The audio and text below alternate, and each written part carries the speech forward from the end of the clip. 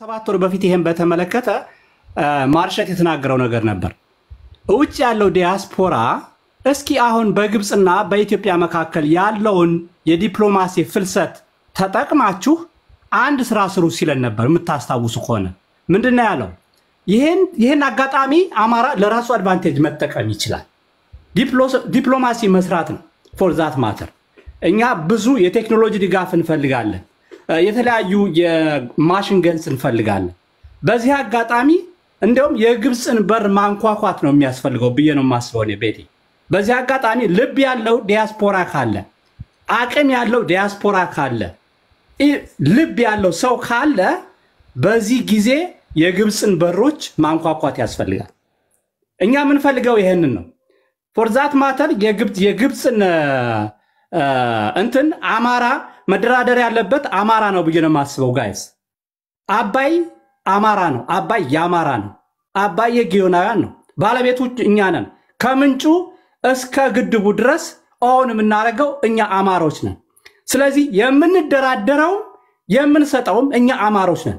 እዚያ ከበሻሻ መጥቶ ማንን ወክሎ ነው? ሲጀመር የኛ ውክልና የለውም፣ ማጥፊያችን ነው። ስለዚህ እኛ በግብፅ ይሄ ወንዝ ለሶስት ሺህ ዓመታት ሲፈስ የነበረ ወንዝ ነው። እንዲታገድ እኛም አንፈልግም። ሁለታችንንም በሚጠቅም መልኩ መደራደር እንችላለን። ድርድሩ ደግሞ ከኛ ጋር ብቻ ነው መሆን ያለበት፣ ከአማራ ጋር። ማንም የእንትን ምንድን የጨፍጫፊ ኦሮሙማ አይመለከተውም። ስለዚህ ወደፊት ይቺ ሀገር እጣፋንቷ ዊደን ነው ልትቆራረጥን ምንም ትችላለች። ግብፅም ራሷ መደራደር ያለባት ከባለቤቶቹ ጋር ነው። ስለዚህ ዲፕሎማሲውን ማስተካከል አለብን። አማራ ይሄ ከአረብ ጋር traditional የሆነ አመለካከት አለ። ለአረቦች የምንሰጠው ጠላት ነው ምናምን ነው እንደዚያ ብሎ ነገር የለም። okay ጥቅም ነው የሚያገናኘን። ስለዚህ የግብፅንም ጥቅም መጉዳት አንፈልግም። እኛም ደግሞ ማግኘት የሚገባንን ለሶስት ሺህ ዓመት ሲፈስ ኖሯል። ዛሬ ቀስ በቀስ የእኛንም ጥቅም የእነሱንም ማስከበር ስለሚቻል የእኛ ምሁራንን የምትሉ ልብ ያላችሁ ሰዎች የግብፅን በሮች ማንኳኳት አለባችሁ። አሁን ፋኖ አሁን የሚፈልገው ብዙ warfare አለ። ታንክ ይፈልጋል፣ machine gun ይፈልጋል፣ መሳሪያዎች ይፈልጋል። እነዚህን ከእነሱ ጋር መተባበር መቻል አለብን። ይሄ በአንዳነት ምናምን አይደለም፣ የፖለቲካ ጥቅም ነው። በአንዳ ምናምን ሲለ አትስማው። በአንዳነት ብሎ ነገር የለም። እየጨፈጨፈህ በጅምላ እያረደህ ቆዳህን እየላጠህ ዛሬና ለእኔ እንትን ብለኝ ሲል ለዚህ የምትሰልፍ ከሆነ ዘገምተኛ ነህ ማለት ነው። ይሄን የምትሰማ አማራ ካለ ዘገምተኛ ነህ ማለት ነው። ስለዚህ ቅድም ጥሩ አድርጋ አስቀምጠዋለች። ይህም በዚህ ልዝጋው። ስለ ጎንደር አንድ ልጅ ስትናገር እዚህ ጋር አለች ቲጂ በጣም ነው የማዝነው። በእውነት አዘንኩኝ፣ ከልቤ ነው ያዘንኩት። በነገራችን ላይ ጎንደርን ከአማራ ሊለዩ የሚሰሩ 24 ሰዓት የሚሰሩ ሰዎች ስንሰማ እና እሷን ስሰማ ደግሞ በጣም ነው ያዘንኩት። by the way ጎንደርን ከየአቅጣጫው ጎንደር ላይ ያለው challenge ከሌላው አማራ challenge ይለያል። by the way ከሱዳን አለ፣ ከትግራይ አለ፣ ከየአቅጣጫው challenge ነው ያለው። አሁን ያላቸውን ብቸኛ ከጎጃም ጋር ያለውን ከአማራ ጋር ያለውን ግንኙነት ለመበጠስ 24 ሰዓት የሚሰሩ የእፉኝት ልጆች አሉ፣ በጎንደር ስም የሚነግዱ። የእነሱ ድምፅ ነው አሁን ጎልቶ የሚሰማው። የዚች አይነት ምስኪን አይነት ድምፆች አይሰማም። ስለዚህ ቅድም አርካኒ ተናግራለች። ጎላ ብላችሁ ውጡ። አይ ነው ምንድነው ቡሊ እንደሚያደርጓቸው እናውቃለን። ያስፈራሯቸዋል ቤተሰባቸውን። ምናልባት የሚጠልፉትም እነዚህ ሊሆኑ ይችላሉ። እና ነገር ግን somehow መቁረጥ ያስፈልጋል። ወጥቶ መጋፈጥ ያስፈልጋል። የእናንተ ድምፅ ጠንክሮ እንዲወጣ ያስፈልጋል። እንደዚያ ስትሆኑ ለእኛም ለሌላውም አማራ support ለማድረግ ground base ይኖራል ማለት ነው። በጣም አዝኛለሁ። ጎንደር አካባቢ ባለው ነገር ለማለት ነው የምፈልገው። ሌላ ምንም ማለት አልችልም። አመሰግናለሁ። ቤት ፋኖ ያስረያል። እኔም በጣም አመሰግናለሁ። best ነገር ነው የተናገርከው። የአማራ ምሁራኖች አሁን ይህንን አጋጣሚ ተጠቅመው ዲፕሎማሲ መስራት አለባቸው የሚለው ሀቅ ነው። የፈለገ ባንዳ ምናምን ሊለን ይችላል። we don't care ስለ እናንተ እኛ ባንዳ አላችሁን አላላችሁን። አሁን ጥቅማችንን የምናስጠብቀው እንደ ኢትዮጵያ ሳይሆን እንደ አማራ ብቻ ነው። ይሄ ሀቁ ነገር ይሄ ነው። እኛ አማሮች ነን። የአማራን ጥቅም ብቻ ነው የምናስጠብቀው። አይመለከተንም ስለሌላው ማለት ነው። so እንዳልከው ይሄንን ነው መደረግ ያለበትም ይሄ ነገር ነው። እና በሱ ስለተናገርከው ነገር በጣም አመሰግናለሁ። እስቲ ስሩበት፣ እስቲ በውስጥም ማለት ነው። ሌሎቻችሁም ምሁራኖችም አሁን ጊዜው አሁን ስለሆነ ስሩበት እላለሁኝ። ድል ለፋኖ አለ። ከታች አንድ ሰው ጨምሬ የማስገባለ ስለ ሺ request ልኮ ስለነበረ ከዛ በተረፈ ግን እንደው ይበቃኛል እኔ ምክንያቱም ቀን በቀን እየገባሁ በጣም ጊዜ እንዴት ዛሬ ራሱ normally መግባት አላሰብኩም ነበረ። ግን ምንድን ነው የሆነው ተራ TikToker እና Facebooker ስራዬ ብለው እንደገና በዚህ መከረኛ ህዝብ ላይ ጎንደር ጎጃም እያሉ ሊሰሩት የመጡት ፖለቲካ በጣም ስላናደደኝ በዛ አጋጣሚ እሱን እንትን ለማለት ነው የሄድኩትና የገባሁት። አጠራ አጠራ አድርጋችሁ እሺ። ታየ ሂድበት፣ ግን አታስረዝሙ። እሺ ታያለህ። ሰላም እያለሁ እንዴት ነህ ታየ? ሰላም ነው። እኔም ነገሩ አሁን በነገርሹ TikToker ኦች ዙሪያ የሴራ ፖለቲካ ማህበረሰቡ ስለማይገባው የተናገርሻቸው ነገሮች እይታሽን ስለወደድኳቸው ነው የገባሁት እና ምን ምንድን ነው እነ ማስተር አብነት እንግዲህ በማወቅም ባለማወቅም ብልጽግና እየተጠቀመባቸው ነው እና በእናታችሁ short memory ዎች ጥንቃቄ ያስፈልግ። በጣም ጎበዝ ነሽ። እኔ እግር ለእግር እከታተልሻለሁ። ምክንያቱም ወዳጅም ጠላትም ስላለሽ ውስጥ ላይም አንዳንድ ነገሮችን የማየት እንትን ስላለን ነው እና የሴራ ፖለቲካ አማራው ማወቅ አለበት። አሁን እነዚህ እና አብነት ታዋቂ ናቸው። እሺ ልበልሽ፣ በመልካም በበጎ አድራጎት ይታወቃሉ። so በምን ተጠቀሙባቸው? ትክክለኛው ትግሉ ጎንደርና ጎጃም እንዲጣላ ነው። ምክንያቱም ጎንደርና ጎጃም ተጣላ ማለት ለወልቃይትም ለራያም ተጎጁ ማን የጎንደር ህዝብ ነው። ግን የደንቆሮ አንዳንድ ደንቆሮች አይገባቸውም። በእናታችሁ ጎንደር የራሳችን ሀገር እኮ ነው። አማራ እኮ ነን ሁላችንም። እንዲህ አብነትን የሚታወቁ ሰዎች ነው ይዘው የሚመጡ እነዚህ እነዚህ ገብተው የጎጃምን ልጆች እነ ሄኖክን እነ ዩሊ ምናምን ይዞ ነው ገብቶሽ ሊዘጋብን ነው ማለት የጎንደርና የጎጃም ሰው እያጣላ ነው። በጣም ጎበዝ ነሽ። መግባትም ስላለብሽ ነው የገባሽ። ህዝቡ የደነዘዘ ነው።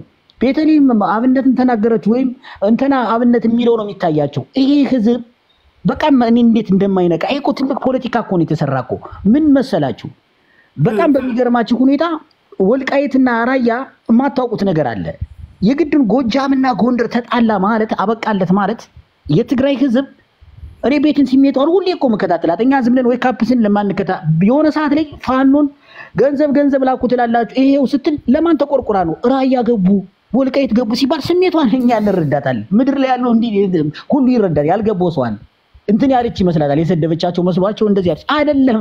ስሜቷን እኔ ይገባኛል። እንከታተላታለን፣ እንቀበለዋለን። አንቀበለው ግን አሁንም እና አብነት ጥንቃቄ ልታደርጉ ይገባል። አሁን እኮ ይሄ እኮ ሶስት አራት ሚሊዮን ብር ለግል ራሱ ቢሰጥ እኮ መናገር የለብም እንደዚህ አማርኛ እኮ እንደ ጎንደር ህዝብ ይህን ሽማግሌ ሰውዬ ተመልከቱ፣ እይተዋል። ይህ ሽማግሌ ሰውዬ ጎጃምን ሲሳደብ ሲሳደብ ኑሮ ዛሬ ደግሞ ተቀይሮ ሲመጣ የጎንደር ልጆችም ሆነ አማራዎች ታብታብ አድርጎ ኮፒ አድርጎ ምናምን እንዴ እንደዚህ ደሮ ጭንቅላት ነው እንዲ ያላችሁ ቶማቶ ጭንቅላት የቲማቲም ጭንቅላት ነው እንዲ ያላችሁ። አንተ ነውጣ የታባ የመጣ ጥንብ ነህ እንደ ማለት ታራግቡታላችሁ እንዴ? እሺ አንዳንድ የትግራይ ልጆች ይቀበሉት፣ system ቀይረው ይግቡ። አርበኛ ሻለቃ ሀብቴ ብሎ ፎቶ ይግቡ፣ እነ ጋዬ ብሎ ፎቶ ይግቡ፣ እነ ዘመን የሸዋወዱ ፎቶ ለጥፈው ይገባሉ። ለምንድነው የምትሸወዱ? ጎበዝ ናት። የሴራ ፖለቲካ ማወቅ አለባችሁ። የሴራ ፖለቲካ የማታውቁ ከሆነ አርፋችሁ ተቀመጡ፣ አትቸኩሉ፣ አዳምጡ። እኔ ሁሌ ግቡና አዳምጡ በየቦታው ምላችሁ። ለዛ ነው በተለይ አማራ የሆናችሁ በሙሉ እንደ ቀልድ እንዳታዩት። ትልቁ ጦርነት እኮ አብይ እኮ ያስቸገረው እኮ ምንድን ምን ይመስላችኋል? ተናገረ እኮ ግማሹ ሽሽ ላይ ጎንደርና ጎጃም እንዲጋጨቀ ይፈልጋል። ዋናው target ኡ ይሄ ነው። ማን አባ ይጎዳል? እያንዳንድ እንደ አማራ ሁላችን የምንጎዳ የለፋንበት እኮ ነው። ጎንደር እንዴ በስናይፐር ዋጋ የተከፈለበት እኮ ነው። ምንድነው የምታወሩት? ሁለት ሶስት አራት ሰሊጥ እየሸጡ ዛሬ ሀገራችን ስለዘረፉ ነው። የራሳችን ሀገር እኮ ነች ወልቃይት። ማንም የከሰለበት እኮ ነው። እሰማለሁ። አስር አለቃ ኤፍሬም ምናምን ብሎ አንዱ ክፍት አፋፉን ይከፍታል። አስር አለቃ ኤፍሬም ነገ ለምንድን ነው የተሰራ? ከባድ ፖለቲካ እኮ ነው የሚሰራ። ነገ የጎጃም ህዝብ ነገ ራያና እንትን ሲከበብ አንሄድም አንዘምትም ለኤፍሬም አስር አለቃ ያልሆኑ እየሰደቡን እንዲባል ነው ይቺ ሴራ የምትሰራ እኮ። ይሄ እኮ ከባድ አስር አለቃ ኤፍሬም የአማራን ፋኖ አሰልጥኖ በአዴት ሂዶ በባህር ዳር ሂዶ የባህር ዳር ልጅ አልነቃ። በአዲ ቅዳም በዳንግ ላይ ሂዶ ትክክለኛ አማራ እኮ ነው ሂዶ ሲሰዋ ሐውልቱ ቤቱን ይችን አንድ ህፃን ልጅ እንኳን ወንጀል ክስተት እንትን ተባለ ተብሎ ስንት ነው ስትንጫጩ የነበረ? ይችን ምስኪን ህፃን ልጅ እያነሳችሁ ሆን ብላችሁ ማለት ነው። ሰው የምትሳደቡ ዛሬ ስለ አስር አለቃ ኤፍሬም ሲሳደብ እንኳን ያወገዛችኋላችሁ ጎንደሮች አማራዎች እኛም ጎንደሮች ማወገዝ አለባችሁ። እንደዚህ አማርኛ ስትሰሙ ትንሽ አይቀፋችሁም? ምንድን ነው እየተሰራ ያለው? አሁን እኮ በቤተልሔም ተማይቶ እንትና አመልጦ አንድ የትግራይ ህዝብ ከፍተኛ ብር ሲገባለት ገብቶ እንትናን ስደቦ ይላል ያን ይሰደባል። ወይ በአባቱ ትግሬ ይሆናል። እዚህ ጋር ማለት ነው በጣም በጣም በጣም አማራው በጣም እኔ በቃ እኔ እንጃ እኔ። ኧረ መጽሐፍ አንብቡ። ኧረ የሆነ አንዳንድ የሴራ ፖለቲ ገብታችሁ አዳምጡ። እንዴ ከባድ እንትን ውስጥ እየገባን እኮ ነው ያለ ነው እኮ። በተረፈ ማለት ነው ጎንደር ጎጃም ላለችው ቲጂ ቤት የምጮው ትክክል ነች። አለ። በቃ ወያኔ ያሰማራቸው ይገባሉ ባህር ዳርም ገብተዋል ጎንደርም ገብተዋል ገና ምላስ ይቆርጣሉ። የሴት ልጅ ጡት ሁሉ ሊቆጠር ይችላል። ምክንያቱም ይሄ ሴራ ነው። የሴራ ፖለቲካ ማወቅ አለባችሁ። ጠንቃቃ ሰው መሆን። የወጋ ቢረሳ እኮ የተወጋ ይረሳል እነሱ እኮ ተዘጋጅተው ነው ያሉ። እባቦኮች የኛዎች ደግሞ እርስ በርስ ትሰዳደባላችሁ። እንዴ ይህን ሽማግሌ ቅማላም ጎበዝ ነች ያመጣችሁ። ቁጭ አረገችው እኮ አመጣ። ወይ ካፕ ማለት የኛ ድርጅት ንቃ ነው። በቃ ነቅታ ነው ያመጣችሁ። በቃ ስታመጣው ወዲያው ይቅርታ መጠየቅ አለባችሁ። በቃ ዓላማው ምንድን ነው ጎጃም ተሳደበ ተሳደበ ከዛ ተገልብጦ መጣ። እነ አብነት ምንድን ናቸው? ታዋቂ ናቸው። እውነቷን ነው አማራው ነው የሚረዳው ሰው ይህን ሰውዬ ምን ተጠቀሙበት ለምንድን ጎንደርና ጎጃም እንዲጋጭ የሆነ ነገር በጎጃም ላይ ተጽዕኖ ፈጥረው ስለ ጎጃም ወይም ስለ አማራ እንትን የሚሉትን እናምጣቸውና ፎቷቸውን አብነት ይናገር። ከዛ ብሔር ብሔረሰቦች ይጠለዋል ጎጃምን እነዚህን ሰዎችም ይጠላቸዋል ጎጃም ይዳከማል ጎንደርና ጎጃም ይጋጩልናል ስለዚህ አመሰግናለሁ። ይሄን ለመናገር ነው የገባሁት ብዙ ማውራት አልፈልግም። አመሰግናለሁ። even account ኡ በጣም account ኤ ሊዘጋ ምናምን ብሎ ያን ያህል በጮኸበት ልክ warning የተሰጠውን እንኳን ሊለጥፍልን ይገባል ማለት ነው። even warning account ኡ አልተሰጠውም። በዛ ልክ ግን መጥቶ ለጎንደር ገንዘብ ልሰበስብ ስል እንደዚህ አይነት ነገር ገጠመኝ ብሎ ከፍ ሲል በዚህ ልክ በዚህ ልክ እንዲህ አይነት ነገር መስራት ማለት ይሄ በጣም የሚገርም ነው እና ምንድን ነው ብዙዎቹ አማራው የዋህ ነው። የአማራ ሕዝብ በጣም የዋህ ነው። እኛ ደግሞ የዋሆች አይደለም። እኔ የዋህ አይደለሁም። እኔ እያንዳንዱ ጸረ አማራ በምን መልኩ እየተንቀሳቀሰ እንዳለ እኔ ጠንቅቄ ያውቃለሁ። ሶ እናንተ በሄዳችሁበት ልክ መሄድ እንኳ ባንፈልግ እያስገደዳችሁን ስለሆነ ህዝባችንን እናነቃባችኋለን፣ ጉሮሯችሁን እንቆርጠዋለን በብዙ መልኩ። ያልሰማችሁት ካላችሁ በድጋሚ ላሰማችሁ። ስትደግሙ ስትለፉ የነበራችሁ ግለሰቦች አይደለም አካውንታችን መዘጋት ቀርና ለጎንደር ህዝብ ኑሯችን ተዘግቶ እንደርስላቸው ባቸው እናብስላቸው አይዟችሁ አለንላቸው ልንላቸው እኛ ክብር እንጂ ውድቀት አይደለም። ለማዘጋት እጃችሁን ዘርግታችሁ ሪፖርት ስታደርጉ ለነበራችሁ ክፉ ነገር አንመኝላችሁ። Bluetooth. ይባረክላችሁ። ስልኮቻችሁ መልካም ነገር ይስራ። master አብነትን እንደሰማችሁት ነው። ትላንት ሌሊት ለጎንደር ጠለምት አካባቢ በደረሰው የመሬት መንሸራተት ገንዘብ ለማሰባሰብ እየሞከርን ነበር። ነገር ግን የምታውቋቸው ሰዎች የ master አብነትን ለማዘጋትና የገንዘብ ማሰባሰቡ ሂደትም እንዳይቀጥል ብዙ ነገር ሲደረግ ነበር። ይሄን ያህል የጎንደር ህዝብ ምን አጠፋ? ምንስ አደረገ? ይሄ ህዝብ እኮ ዛሬ ቀን ጥሎት ነው እንጂ ወጥቶ የመለመን ባህል የሌለበት ወጥቶ መለመኑም አንገት የሚያስደፋው ንጹሕና ምስኪን ህዝብ ነው። በእውነት ይህ ህዝብ አያሳዝናችሁም ወይ? በዚሁ አጋጣሚ በስልጤ አካባቢ ለተከሰተው የጎርፍ አደጋ መጽናናትን ምንድን ነው ማስተር አብነት ያው ግዴታው ነው። ጎንደር ላይ እንዲህ አይነት ችግር ደርሷል ሲባል እኔ አሁን እሱ ኢትዮጵያዊ ከሆነ በብዙ የኢትዮጵያ ሀገራት ላይ ሲሄድ አይቼዋለሁ እና እንደ አንድ ኢትዮጵያዊ የእውነት እሱ ኢትዮጵያዊ ከሆነ ጎንደር እዛ ቦታው ላይ ያ አደጋው የደረሰበት ቦታ ላይ ሂዶ ቦታው ላይ ቆሞ ማስተባበር ነበረበት። የመጀመሪያው ነገር። የሁለተኛው ነገር ደግሞ specific ተደርገን ፎቶችን ተለጥፎ ስማችን የተጠራው እኔ፣ ዩሪ፣ ሄኖክ የተወሰኑ ሰዎች ነን የተጠራ ነው ስማችን። በሶስተኛ ደረጃ ቀን ጥሎት ነው ይሄ ህዝብ ምናምን ብሎ ልክ የጎንደር ህዝብ ቀን እንደጣለው ምናምን ምናምን አድርጎ በዚህ ልክ ማህበረሰብን demoralize ካደረጉ በኋላ የጎንደርን ህዝብ እኛ የመጡበት ኦቫ ኮሞንዴ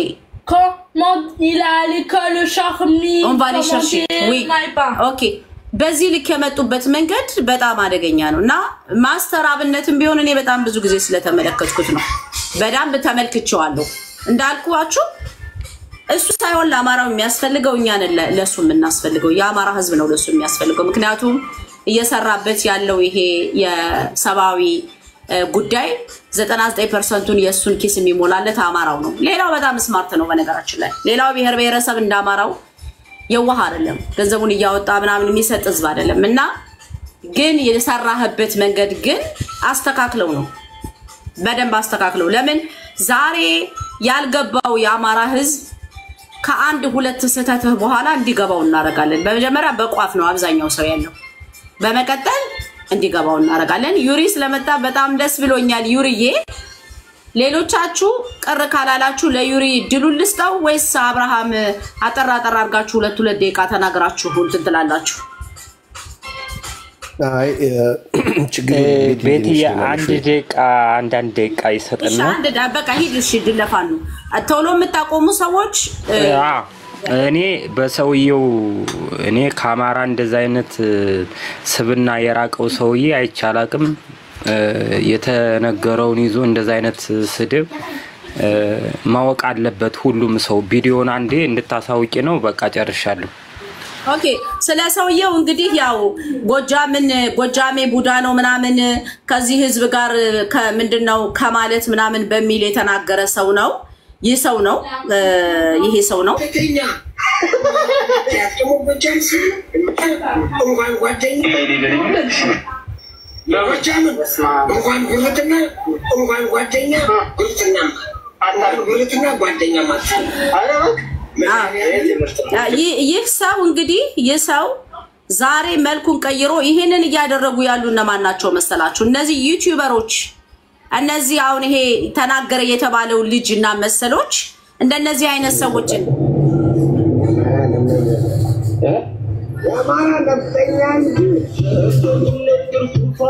በዚህ ልክ ደግሞ መልኩን ቀይሮ መጦ ዛሬ ላይ ምርጥ ልጆች ስላሉ ነቁበትና account ባንክ account ሳይቀር ተከፍቶ ሰውየውን እነ ጉርሻ ቲዩብ ሳይቀሩ account ኡን post ተው ይሄንን የሰደበንን ሰውዬ ለማስረዳት የተ- የተሄደበት መንገድ አለ። ማማር post ታዋለች ከተባለ በጣም ጥሩ። መማር ጎጃምን እንደ ጎጃም የሰደበ በሽተኛ ሽማግሌ post ታ ገንዘብ እንዲረዳ ካደረገች ቀጥታ ጸባችን ከእሷ ጋር ነው የሚሆነው። በዚህ ሰውዬ ዙሪያ ላይ እንቅስቃሴ የሚያደርግ አማራ ካለ በትኩረት ነው የምንመለከተው። ጉርሻ ሳይቀር ያናደርገዋል። ጉርሻ ብልጽግና ነው። ግን ይሄንን የሚያደርጉት ፖለቲካ እየሰሩ ያሉ social media ላይ ያሉ ያየናቸው እንደነ master አብነትና መሰሎቻቸው አይነት ሰዎች አዲስ አበባ ላይ ይህንን ሰው መልኩን እየቀያየሩ systematically ሲያሳዩ ነው የነበረውን ነገር አይታችኋል ማለት ነው። እንሄድበታለን። ዩሪ ስላለ እና ስሌም ስላለ ከዚህ በላይ እኔ አንድ- ደቂቃ ወይም አንድ ደቂቃ እሺ፣ ሂድበት። እና እኔ ማለት የምፈልገው ነገር በሰዓት የአማራው ትግል ወደ ጎጠኝነት ተስቦ መግባት እንደሌለበት እማምንበት አንዱ እኔ በራሴ አስተሳሰብ እማምን ነኝ እና ይሄ ማ- ማስተር አብነት የሚባለው ሰውዬ እና ያቺ ማን ነበረ ስሟ ሮማን እነ ሮማን መማር እንደመታናቸው ስላወቁ ነው እችን ፖለቲካ የሰሩት። ማስተር አብነት ማንም ሪፖርት አላደረገበትም። ሆን ብሎ ጎጃምና አማራን ልዩነት ለመፍጠር የመጣበት ርቀት እንጂ አንደኛ እሱ ነው። ሁለተኛ ደግሞ አማራን ስለማይወድ ለአማራ ሕዝብ በፊት አሰራም ተብሎ ስለተጨ እንደማይሰራ ስላጋለጥ ነውና የመማርና የእሱን ስርቆት ስላወጣን እንጂ ማንም ሪፖርት አላደረገበትም። ውሸቱን ነው። የእኛን ጥላቻ እንዲሰፋ ነው ይሄን የሰራበት። የነቃነ ሰዎች ነቅተን እየሰራንበት ነው። አናስጠጋቸውም። በዚህ ጉዳይ የጎንደርና የጎጃምን ህዝብ ለመለየት የሚመጡበትን ርቀት በአጭሩ እየቀጨነ እየታገልናቸው ነው። የእኛ የጎንደር ልጅ ነን ብለው እንኳን የሚያታልሉትን እያለን መስዋዕት መስዋዕት የሚከፈሉ መስዋዕት እንከፍላለን እያለን ኃላፊነት እየወሰድን እየተጋጠምን ማንም ሰው ሊለያየን አይችልም። ጎጃም እንደ ጎጃም አማራ ነው። ጎንደር እንደ አማራ አማራ ነው። ግን ጎጃም እንደ ጎጃም አሸንፎ ታግሎ አያሸንፍም። ጎንደር እንደ ጎንደር ታግሎ አያሸንፍም። አማራ አንድነቱ ተጠብቆ ካልቀጠን በስተቀር መጥፊያችን እስከሆን ድረስ ማንም ይሁን ማንም እኔ በዚህ ላይ አስረግጬ ነግራችሁ ቤቴሌም ዳኛቸው ብዙዎች ሰዎች አገሬ ናት እያላችሁ የምትጨቀጭቁን ማን ነበረ ስሙ ከማስተር አብነት በፊት እሷ ነው ልደርስልኝ የምትችል እሷ ጋር ልግባባ የምችለው አለቀ። ማስተር አብነት አይደርስልኝም ለኔ።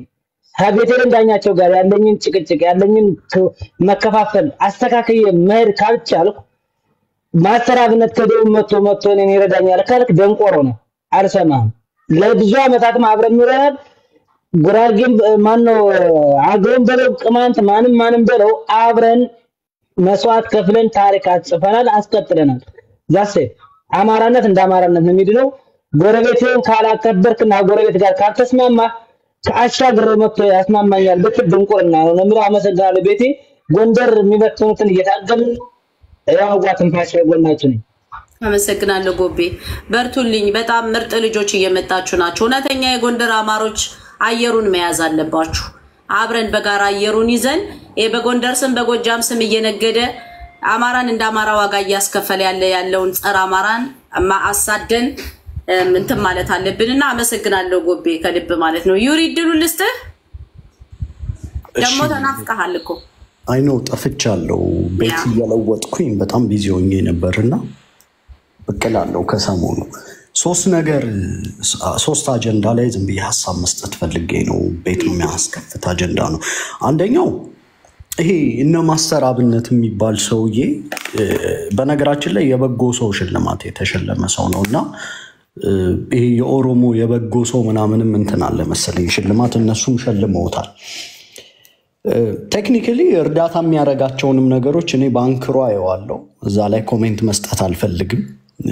ብዙ ጊዜ የሚሄድባቸው አካባቢዎች ምናምን አለው ከመንግስት ጋር የማያጋጨው ፕሮጀክት ላይ ነው የገባው። በዚህ ጉዳይ እውቅና recognition ያገኝባታል። በሌላ መልኩ እነዚህ ሰዎች የገቢ ምንጭ ነው የሚሆናቸው። ከዛ ባሻገር ደግሞ ያው የተቸገረ መርዳትም ልብም ያስደስታል። በራስ ገንዘብ ሳይሆን ከሰው ተሰብስቦ ይህንን ወስዶ ማድረስ በዛ ውስጥ የራስንም ስብዕና ምናምን መገንባት ነው።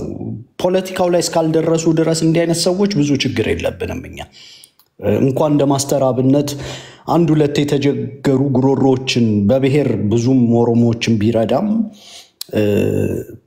ችግር የለውም። ኦሮሞም ወገናችን ስለሆነ ችግር የለብንም። ፖለቲካውን ግን መጥቶ የሚያንሻፍፍ አስተያየት ሲሰጡ ያኔ ነው ከኛ ጋር የሚጣሉት እና አሁን እነዚህ ሰዎች እንደምታውቂው ሰብአዊነት ድንበር የለውም። በዓለም ላይ ስማቸውን የተከሉ ሰብአዊ ታጋዮች በጦርነት ቀጠና ውስጥ ጭምር እየተጋፈጡ መንግስትን እየተጋፈጡ አምባገነኖችን እየተጋፈጡ ነው ሰብአዊ ተብለው የወጡት። አሁን የነ ማስተር አብነቶች ግን ምንድን ነው የሚለያቸው? ሁልጊዜ ከመንግስት ጋር የማያጋጫቸውን አጀንዳ ነው የሚፈልጉት እና እንዲያውም አንዳንድ ጊዜ መንግስት promote የሚያደርገውን አጀንዳ አሁን የልጅቷን ጉዳይ እንደምታውቂው አዲስ አበባ ምክር ቤት ድረስ የገባ case ነው። ከመንግስት ጋር አያጋጫቸውም። ሳንቲሙ ተገልብጦ እቺ ልጅ ኦሮሚያ ክልል ቢሆን የደረሰባት አደጋ የደረሰችው እነ ማስተር አብነት አይሞክሯትም። ለዚህ እንደ አንድ ምሳሌ የምሰጥሽ አዲስ አበባ የተደበደቡት አንድ አማራ ሰውዬ ታስታውሳላችሁ? ቁጭ ብለው አሁን ምን አረኩ ምናምን እያሉ የተደበደቡት ሰውዬ የእሳቸውን case ማስተር አብነትና የተወሰኑ ሰዎች ነበሩ መጀመሪያ እንዲያስተባብሩ የተጠየቁት። እሺ ብሎ ቃል ገብቶ እከታተል ነበር። እኔ በጣም እንዲህ አይነት ሰዎችን እኔ በአጉሊ መነጽር ነው የማያቸው። ሌላ ሰው ከሚያያቸው perspective for that matter የእኔን ብሔር አባላት ምን ያህል ረድቷል ሁሉ ብዬ ቆጥራለሁ። በነገራችን ላይ ያን ያህል ክፉ ነኝ እኔ እንደሌላው። በእርግጥ ድሃ ከመንገድ ሲነሳ ደስ ይላል። የተቸገረ ሰው መርዳታቸው እኔ ዛሬ ኦሮ- የኦሮሞን ድሃ ብቻ የሚረዳም ሰው ቢመጣ ችግር የለብኝም። ግን ፖለቲካዊ ነው። ቢያንስ ቢያንስ በብሔር ውግንና አሳይቷል። ፖለቲካ የለውም ማለት አንችልም። ግን ድሆችን መርዳታቸውን appreciate አደርጋለሁ። ያንን እንኳን notice እያደረግኩኝ ልጁ ላይ ብዙ comment መስጠት አልፈልግም ነበረ። በጎነት ብሔር የለውም እኔ እስከማውቀው ድረስ ማለት ነው። ምናልባት ድንበር ተሻግሮ የሌላ- አገር ሰውም ልትረጂ ትችያለሽ። የእኛን ሰውዬ አባት case ይዘዋለሁ ብሎ ከጠፋ እሺ ካለ በኋላ completely ስልኩን አጥፍቶ ጠፋ። ይሄንን በኋላ የሰውየውን ጉዳይ arrange ያደረጉት ሰዎች እንትን ይላሉ። በኋላ ምን አለ? አይ እኔ ይሄን ነገር ውስጥ መግባት አልችልም ብሏል ማስተር አብነት አለ። ምን አይነት ነገር ውስጥ ነው መግባት የሚችለው ይሄ ሰውዬ? ከመንግስት ጋር ማያጋጨው አጀንዳ ውስጥ ግን መግባት ይችላል። የተደበደቡት ሰውዬ ኦሮሞ ቢሆኑ ይገባል። ምክንያቱም ከመንግስት ጋር የሚያጋጭ አይደለም። አሁን ኢትዮጵያ ውስጥ የተቸገርነው እኛ ኢትዮጵያዊነቱም እስክስታውም ምኑም እንዳለ አልከፋንም። እኛ ከመንግስት ጋር የማያጋጭ አደን- አጀንዳም ውስጥ መሳተፋቸው ችግር የለብንም። ህዝቡንም መጥቀም ይችላሉ፣ ከእርሳቸውንም መሙላት ይችላሉ። እኔ ችግር የለብኝም በሱ። ፖለቲካ የሆነ አጀንዳ ግን ሲነኩ ያኔ ከኛ ጋር ነው የሚጣሉት። አሁን ይህ ሰውዬ ለጎንደር ሲባል አካውንቴ መዘጋቱ ምናምን ለእኔ ክብር ነው ምናምን የሚል አይነት ነገር ነው ተናገረ ሲባል እኔ የኔም ስም ለምን እንደተጠቀሰ አይገባኝም። እኔ አልነበርኩም እዚህ platform ላይ ሰሞኑንም እ፣ ከኛም በላይ ቁስሉ ተሰምቷቸው አይደለም። ግን አሁን ያለውን እርሾ በተወሰነ መልኩ ማጋጋልና ማጧጧፍ ያው መንግስትም ስለሚደግፈው ከመንግስት ጋር ማያጋጭም ስለሆነ ለምሳሌ የወለጋና የጅማ ኦሮሞ ብሎ እንዲህ መናገር አይችልም። ምክንያቱም የኦሮሞ ብሔርተኛ ቅልጥም የሚሰብር ፖለቲካ ሰርቷል። አማራውስ አማራው ቅልጥም የሚሰብር ፖለቲካ አልሰራም። አማራው እኛን ነው የሚታገለው። አማራው የእኔን ብሔርተኝነት ነው የሚታገለው። ይሄ ከፍ ብሎ አንድ ደረጃ የመጣውን compromise የማያደርገውን articulate አድርጎ እግር የሚሰብረውን ፖለቲካ ራሱ አማራው ነው የሚታገለው። ስለዚህ እኛ አሁን እኔ በነ ማስተር አብነት ሰዎች ላይ ያው ነፍሴ ተጸይፋቸው ምናምን ዝም ልል እችላለሁ። double standard ኣቸው ስለሚሰነፍጠኝ ማለት ነው። እኛ የተደበደቡ አማራን ሰውዬ ማዘጋጀት የማይችል መንግስታዊ አጀንዳ የሆኑ ነገሮች ላይ ግን ጋሻ ጃግሬ ምናምን ሆኖ የሚገኝበት ነገር ብዙ ጊዜ እንደ ትችት አቀርበዋለሁ። ከዛ በተረፈ ጠለምት ወገኖቻችንን ስለረዱልን እናመሰግናለን። ኢትዮጵያኒስቱል ማለት ነው። ይሄን በዛ ነው የማልፈው። ከሱ ጋር ተያይዞ እንዲህ ዝም ብዬ ሳያቸው የሚቀፉኝ ሰዎች አሉ። በላይ በቀለ ወያ ጃል ወያ ብሎ መጥቷል እና አንድ የተቆረጠ ቪዲዮ ሲያሽከረክሩ አይቼ ምን አለ እስከ ዛሬ የሄድኩበት መንገድ ስህተት እንደነበረ ነው የተረዳሁት አለ። ለአማራውም የነገር ነው ይሄንን ነው። እንዲያውም ቪዲዮዬን ቆርጠው ከበቅ- ከበቀለ ወያ እኔን ምረጥ አልኩ። እኔ ግልጽ ስለሆንኩ ነው የምናገረው። ምክንያቱም እኔ ብሔርተኛ ነኝ። ብሔርተኛው እኔን ነው መምረጥ ያለበት። በላይ በቀለ ወያ ትንሽ ጭብጨባ ስታጎልበት ምን ብሎ ይሄዳል? እስከ ዛሬ የሄድኩበት መንገድ ስህተት ነው ብሎ ይሄዳል። ይሄንን የነገርኩህ እኔም እኔ ግን ቢከፋኝ እንኳን ስልኬን አጥፍቼ እጠፋለሁ እንጂ የአማራውን ትግል ለመጉዳት የመጣውበት መንገድ ስህተት ነው እያሉ ነገር okay። አማራውን አውሬ የማስመሰል ምናምን አይነት ፖለቲካ ውስጥ አልገባም። ልጅህን ምረጥ ነው ያልኩት ለአማራው ብሔርተኛ። እየረበሸ ነው ያስቸገረም ምንድን በእኛ ትግል ውስጥ የተሰገሰገው መሀይም አስቸግሯል። አሁን እንደኔ መጥቶ ግልጽ የሚነግረው ነገር የለም። ከኔና በቀለ ወያ እኔ ወርቅ ልጅህ ነኝ፣ እኔም ግን መቶ ዓመት አልታገልልህም። ደንቁረህ የዛሬ ዓመት የነገርኩህን ነገር ዛሬ መጥቼ እንደ አዲስ የምነግርህ ከሆነ በየቀኑ የምነግርህ ከሆነ እኛ መቶ ዓመት የለንም። የሆነ ሰዓት ላይ አራግፈን ነው የምንሄደው። ከዛ ይመጣል፣ ከዜሮ ይጀምራል። እኛ ያለፍነውን የብሔርተኝነት ደረጃ ማለፍ የሚፈልግ እንደ አዲስ ፖለቲካውን የሚረዳ ምናምን ሰው ይመጣል። እንደገና እሱን ታወጣለህ።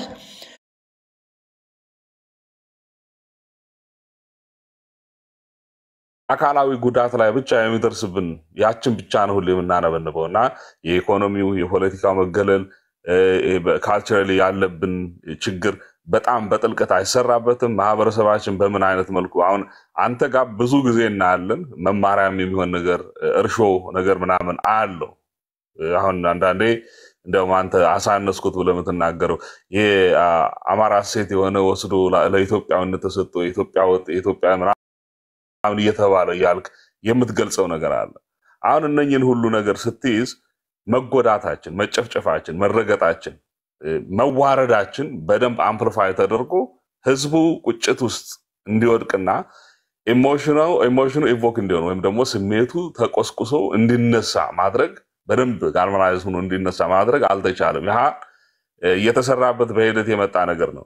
now ይህንን እንግዲህ የምነግራቸው ለምንድን ነው? ጠንካራው እሴቱ ከምንለው አንድነት አንድነታችን ባህሪያችን ከሆነ ያንን አንድነት እንዴት መፈርከስ ይቻላል? አዲስ አበባ ላይ ተደራጀ የተባለው የትግራይ ተወላጅ የ TPLF ኃይል በጣም ምስጢራዊ በሆነ መልክ እየሰራ ያለው የአማራን አቅም በመከፋፈል ነው። አሁን ጎንደር መስሎ የጎንደር ማሊያ ይለብሳል። ጎጃምን ይመስልና የጎጃምን ማሊያ ይለብሳል። ይህንን አንድ የሆነን ህዝብ ሊበትንብን ይመጣል። ግን በዛው ልክ ደግሞ ለጎንደር ተቆርቋሪ ነኝ ይልሃል፣ ጎንደሬ ነኝ ይልሃል። ዶክተር ምስጋናው ምናምን ዶክተር ደረጀ የሚባለው ምናምን የሚያዝዝ ባናና የሚባል ደግሞ በስብሰባው ስትመጣ ምናምን አለቃ የሆነ ሰውዬ ማለት ነው። በቃ ላይ እሱ የሚናገረው ጠባይ ነው መፈጸም አለባቸው ምናምን ከአንደበቱ ከቅላጼው ይህን ክልል የብአዴን ካድሬ እንደሆነ ማወቅ ትችላለህ። TPLF የሚሰራው አያንስም። አማራ ነው የሚባል ሰው ደግሞ ሲበትንን ሲነጥለን ይታያል። እኔ ይህንን ማህበረሰብ አንድነቱን ካሳጣ ነው በቃ just ለመውደቅ ተዘጋጅተናል። አንድነቱን መጠበቅ አለብን። አንድ አማራ እንኳን መተው አንችልም። አንድ አማራ እንኳን መተው አንችልም። በቅንነት አማራ ሆኖ የመጣ የሁላችሁ ወገኖቼ አማርነት ሲተርፍ እኮ የአማራ ማህበረሰብ ላይ ወንጀል የሰራው አማራም ጭምር ነው የሚተርፈው። በፍትህ ሂደት ውስጥ ህዝቡ ራሱ ይጠይቀዋል እንጂ ስንታገል ምንታገለው የትኛውንም አይነት ነፍስ የያዘች የአማራን ማህበረሰብ አማርነትን በውስጡ ያለው ሁሉ ይተርፋል። ይህንን ሴራ ይህንን ድብቅ የሆነ አንዳንድ ጊዜ እንዲያውም ይሄ- ይሄ- ይሄው አካል ምን ብሎ ይናገራል መሰላቸው? ጎጃም ያለው እኛ ከጎጃም ምንም እንትን የለን። ወልቃየት ላይ መጠን የራሳችን ርዕስ ደቡብ አሚን ነው ትግራይ መጠን ህዝብ ብናሰፍር ከህዝቡ ጋር ብንኖር እዛ አካባቢ ጎጃም ላይ ያለው መጦ መዋጋት ለምን ያስፈልገዋል? ይሄ እኮ አነሰሰሪ ነው፣ ኃይል እንትን ማለት ነው ምናምን ይላል። የአማራውንም ትግል ይሄድ ሄድና በክልሉ ደረጃ አሁን እነሱ ቆርሰው በሰጡን በሰጡን ይችን የበሬ ግንባር በምታክል ያቺ ያውም የኛ አይደለም መሬቱ ራሱ በዛች ደረጃ ብቻ አደርገውና ኢትዮጵያ የምናስብ ከሆነ አራት ኪሎ የምናስብ ከሆነ የሁሉም ኢትዮጵያዊ ነው ምናምን ይላል። ልክ TPLF ፍቃድ አስፈቅዶ ሌላውን አማክሮ ስልጣን የያዘ ይመስል አሁን ያለው እንደዛ ያደረገ ይመስል ለፋኖ የማይሰራ ሌላ ህግ አውጥተዋል እነ ኤድመን ጠቅለል ሳደርገው ይህንን አካል በጣም ውሃ በሚያነሳ ፖለቲካ መበተን መሰራት አለበት እና ለዚህ በጣም ታስፈልገናለህ ነው። እኔ አሁን የግብፅንም ጉዳይ አስመልክቶ obviously መሬት ላይ መድ- የምትደመጥ ነህ በሚገባ ቋንቋ አሁን በተናገርክበት ቅላጼና ረዘም ያለ ነገር ወስደን እኛም መጠን ጠቀሜታ ያለው ነገር አስተላልፈን መሄድ አለብን ነው። እኔ የግብፅ ጉዳይ ካስ ካላቸው ይኸውላችሁ እ፣ በቀኝም ነፈሰ በግራ አሁን ቅድም ካልከው በቃ ህልውና ችግር አለብን። ultimate goal ኣችን አራት ኪሎ ነው። ምክንያቱም የስልጣን ጥማት አይደለም። መዋቅር፣ ስርዓት፣ ተቋም ነው የተገነባው እኛን ለማጥፋት። መዋቅሩን፣ ስርዓቱን፣ ተቋሙን ለመገርሰስ አራት ኪሎ ካል- ካልያዝክ ልታደርገው አትችልም በፍጹም። ፍትህ አይመጣም። አዲስ ስርዓት መተካት አትችልም። ስር ለውጥ ማምጣት አትችልም። አራት ኪሎ ሳትገባ ፋኖን የፖለቲካ ተገዳዳሪ ኃይል ማድረግ አይቻልም። አራት ኪሎ ሳትገባ period። ሰው ለእኔ የትግላችን አንደኛው ግንባር ቀደሙ ርዕዮተ ዓለም ስልጣን መያዝም ጭምር ነው። ስልጣን መያዝ እንዴት ርዕዮተ ዓለም ይሆናል ምናምን ብሎ የሚያሳቅቅም ስላለ እኔ እዚህ ጋር crystal clear ነው የኔ አቋም። ነገር ግን ይኸውላችሁ የአማራ ማህበረሰብ ከዚህ በፊት የነበረው አይነት ልክ ዘመነ ካሴ የሚለው ፋኖ አራት ኪሎ ሌሎችን ካነገሰ በኋላ ተመልሶ ከመግባቱ በፊት ከጀርባ የሚያጠፋ እሱን ለማጥፋት ሌላ ነገር ሴራ ይሰራ- ይሰራሉ የሚለውን እሳቤ አይነት ነገር አሁንም መጦ ፋኖ የህልውና ችግር አገናኝቶት የገፍ ሞት ታዝዞበት የዘር ጭፍጨፋ እየተፈጸመበት ቤቱ አናቱ ላይ ፈርሶ at least ህጋዊ ድሃ አደረግናችሁ። ልብ በሉ ህጋዊ ድሃ አደረግናችሁ የተባለ ማህበረሰብ በጣም ተንቆ ከመናቆ የተነሳ ምን ይሉናል መሰላችሁ? ፋኖን ሰበር ነው፣ ነፍጠኛውን ሰበር ነው፣ ቆረጥ ነው፣ ፈለጥ ነው ምናምን ብቻ ሳይሆን ትላንትና በሀገር ተወረረ አርቲ ቡርቲ ሁሉን ካስነሱ በኋላ ፋኖ ድረስልኝ አለ፣ ደረስንለት። በበነገታው በበነገታው አልዋለም አላደረም። ስልጣኑ ከተረጋጋ ምናምን በኋላ እንደገና አማራን ወደ መገደል አጀንዳው ገባና እኛ predict ያደረግነው ነገር ወዲያውኑ አልዋለም አላደረም። ጥቁር ክላሽ የዘረፈ ምናምን የሀገር መከላከያን ወግቶ ምናምን አለ። ልክ የሀገር መከላከያን የወጋ ማን እንደሆነ ይታወቃል። ከእንደዛ አይነት ውርደትና ቅሌት ማን እንዳተረፈው ይታወቃል። ፋኖ ድረስልኝ ያለ ማን እንደሆነ ይታወቃል። ፋኖን ደግሞ እንደገና መልሶ ከሰሰ። ሲከሰው ይኸውላችሁ ግሎብሊ ነው የምነግራችሁ። በአገር ውስጥ ብቻ ሳይሆን በዓለም አቀፍ ደረጃ በነሱ እቅድ በዓለም አቀፍ ደረጃ ህዝባችን ፋኖ ጠቅላላ እንዲዘመትበት ነበር አላማው። እንዲዘመትበት ነው። አሁንም ሲሸጥ የሚሸጠው ፖለቲካ የአማራ እናቶች ጽንሳቸው ተቀዶ ይወድ- ይወድቃል። ማንም ሰው ትንፍሽ አይለው። የአማራ ህፃን ስትሞት ማሊያ አልብሰህ አንደኛ ያው በአንድ በአንድ ድንጋይ ሁለት ወሉ የአማራን ኃይል የሚበተንበት ጎንደር ጎጃም ብለህ ትመጣለህ። አምፕልፋይ አድርገህ ደግሞ ለውጭ ሁሉ እንዲሰማና የአማራ ምድር ለህፃናት እሳት ነው፣ የአማራ ማህበረሰብ እንደዚህ ነው እንትኑ የሚል sentiment ያለው ፖለቲካም ይሸጣል። technically ምንድን ነው ውለው አድረው ለእኛ አይተ- አይተኙም። አማራን ለማጥፋት ከሆነ አይተኙም። ፍሮል ወጣን ተናገርን፣ የሚያዳምጥ አልነበረም። ያሸነፈው ብልጽግና ነው። ብልጽግና ካሸነፈ እነሱ አጀንዳቸውን አስካሄዱ። አሁንም የተረገመው የተከሰሰው አማራ ነው። ይሄ ሁሉ ባለበትና ውሎ አድሮ at any given time በለስ ሲቀናው ዋና አጀንዳው አማራውን ማ- ማጥፋት የሆነን አካል ህይወቱ እንዲቆይ እንዴት ታደርጋለህ? እኔ እንዲያውም suggest ማደርገው የበሰለ ፖለቲካ ወታደራዊ ጥሩ ቁመና ላይ ነው ይገኛሉ። ግን እንዴት አድርገው capitalize ማድረግ ይች- ይችላሉ?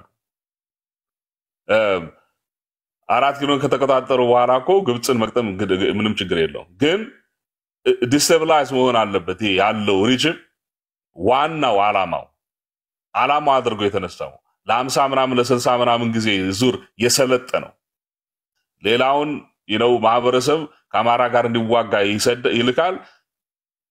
ቄሮ የሚባለው እ፣ የኦሮሞ ልዩ ኃይል ምናምን የሚባለው ረጅም ጊዜ የሰለጠነው ግን አሁንም በተጠንቀቅ ተቀምጦ ያለው እሱ ኃይል ለአማራን ለማጥፋት ነው፣ ለሌላ ጉዳይ አይደለም። ግን ልክ እንደ ትናንትናው የአማራን የአማራን ፖለቲካ የሰሜኑን ፖለቲካ ለመምታት resource ኣችን እንትን ለማለት የገንዘብ የሰው ኃይል ምናምን resource ለማባከን አሁን የሚቀሰቀሰው አማራው ነው።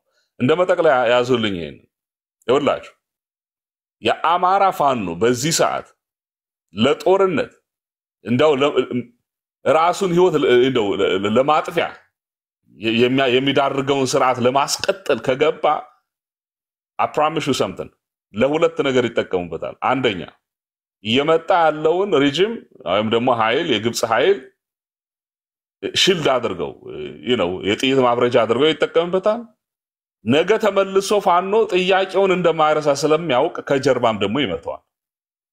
understand አብይ የሚያደርገው neutralize እንድትደረግ ከጀርባ ሆኖ ደግሞ ፋኖን እስከ መጨረሻው ዳግም እንዳያነሳ neutralize አድርጎ ያለውን ኃይል ሁሉ ግብፅን ለመምታት አይደለም የሚሄደው ከጀርባ ፋኖን ሊደመስስበት ነው የሚጠቀምበት። you have to understand this የእኛ ሰዎች የእኛ ልጆች ፋኖች ማዳመጥ ያለባቸው አሁን ከነ ቤቲ ከአንተ ከእኔ ከነ ሄኖክ ወጠን በአንድ ላይ በአንድ ቤት ተቀምጠን ይህንን የመተንተን የራሳችን ሂስ የራሳችንን አስተያየት የመስጠት ኃላፊነት አለብን። እኔ በምንም አይነት መለኪያ ይህ ጦርነት የኛ ጦርነት አይደለም። ቅድም በነገርኳችሁ ልክ ነው። እኛ ህጋዊ ድሃዎች ነን። እኛ በህግ ሀገር አልባ ነን። እኛ በህግ መሞት፣ መግደል፣ መገደል፣ መጨፍጨፍ እንችላለን። ድሮም ስንናገር የነበረ ነው። ህጋዊ ፍቃድ አለ አማራን የማጥፋት ያንን የሚደግፍን ስርዓት ልናስቀጥል አንሞትም ከዚህ በኋላ እሱን ለማለት ነው። ጨርሻለሁ። ወንድም አለም አትጥፋብን ዋ እሺ፣ አመሰግናለሁ ስሌ። ዩሪ የምትለው ነገር ካለ ሂድበት። አንዲት point ብቻ ልጨምርና ልሰናበት። እኔም እ፣ አሁን አንድ ነገር እርግጠኛ እየሆንን ነው።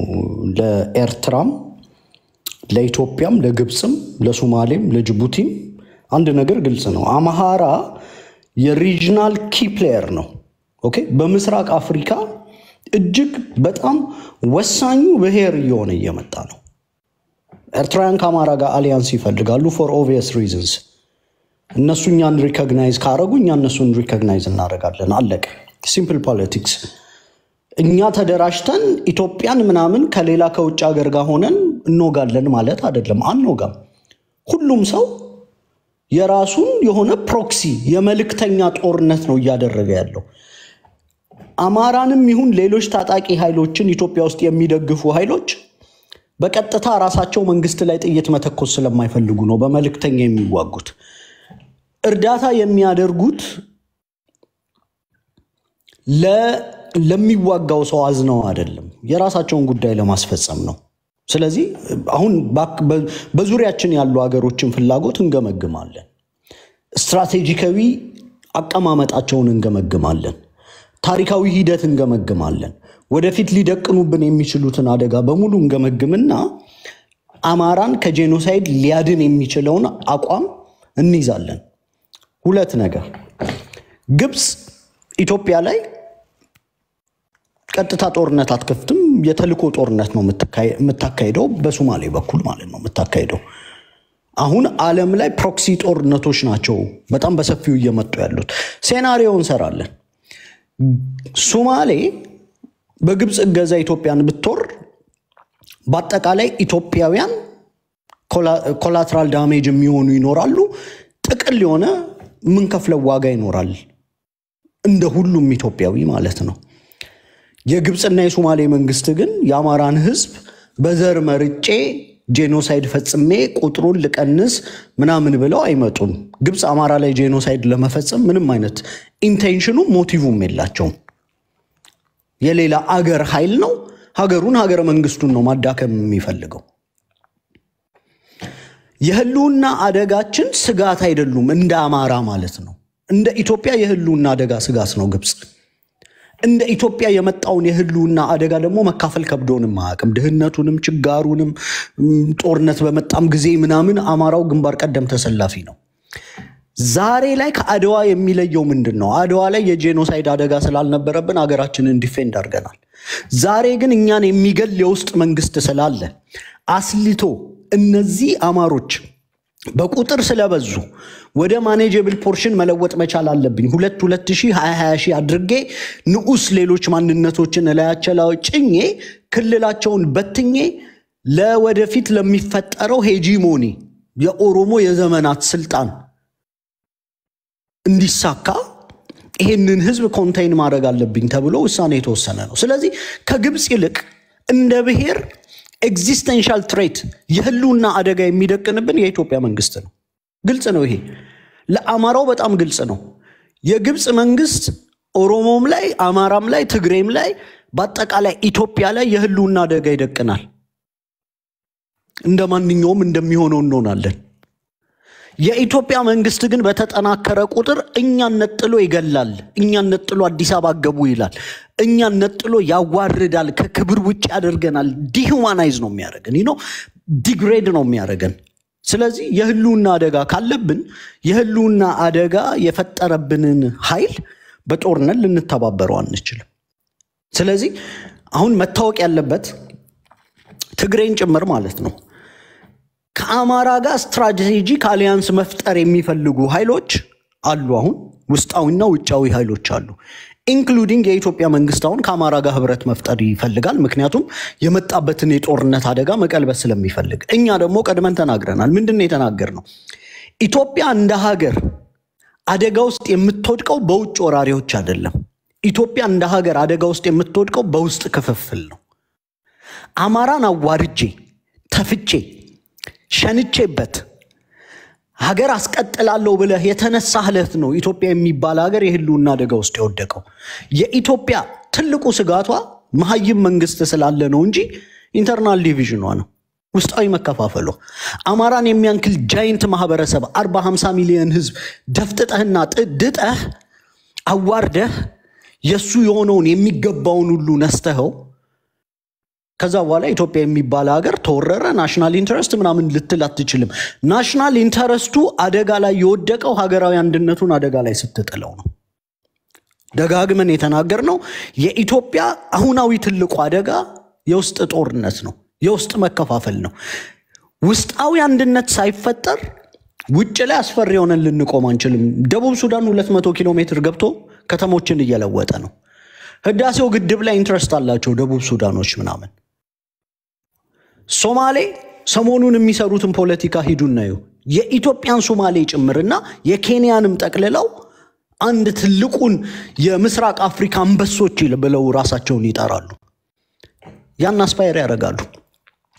ሌሎች በቋንቋ የተከፋፈሉ ህዝቦች ለመሰባሰብ እየሰሩ ነው። ይሄ ኢትዮጵያ ላይ የህልውና አደጋ ይደቅናል። እንደ ብሔር ደግሞ እኛ የሚደቀንብን የህልውና አደጋ አለ። እንጠፋለን ማለት ነው። ቁጥራችን ይቀንሳል። ዘር የማስቀጠል ትግል ነው። አማራው መምረጥ መቻል አለበት። ዘሩን አስቀጥሎ እንደሆነው ይሆናል ከሌላው ኢትዮጵያዊ ጋር ወይስ አሁንም ድጋሜ በቅራቅር በኩል ተወጋው ሲል ምናምን የአማራ ልዩ ኃይል ሄዶ ምናምን መስዋዕትነት ከፍሎ ያን ሁሉ ጦርነት ልጆቻችን እግራቸው ተቆራርጦ ሴቶቻችን የቲዲኤፍ ወራሪ ምናምን መጫወቻ ሆነው ምናምን በማግስቱ ምንድን ነው የተባልነው? የክልል ልዩ ኃይል ብዙም እገዛ እኮ ሊያደርግ አይችልም ነው ያለው ብርሃኑ ጁላ አይደል? መካናይዝድ ያልሆነ የክልል ልዩ ኃይል ሊያደርግ የሚችለው እገዛ እምብዛም ነው ነው ያለው። ስለዚህ ትግራይ ላይ ተፈጠረ የሚባለውን አትሮሲቲ በሙሉ መከላከያ እንደፈጸመው ነግሮናል። የእኛ እገዛ እምብዛም ስለነበረ ስላለ አሁንም ደግሞ እኛ ብንረዳችሁ ብርሃኑ ጁላ በነገረን መሰረት ያልተደራጀና መካናይዝድ ያልሆነ የክልል ጦር እምብዛም ነው እገዛው። ስለዚህ እናንተ የተደራጃችሁት መካናይዝድ የሆናችሁት አፍንጫችሁ ድረስ የታጠቃችሁት አገሩን አድኑና አሳዩን። ለታሪክ ለስማችሁም ጥሩ ስለሆነ ማለት ነው። ሌላ አንድ ነገር ልጨምር።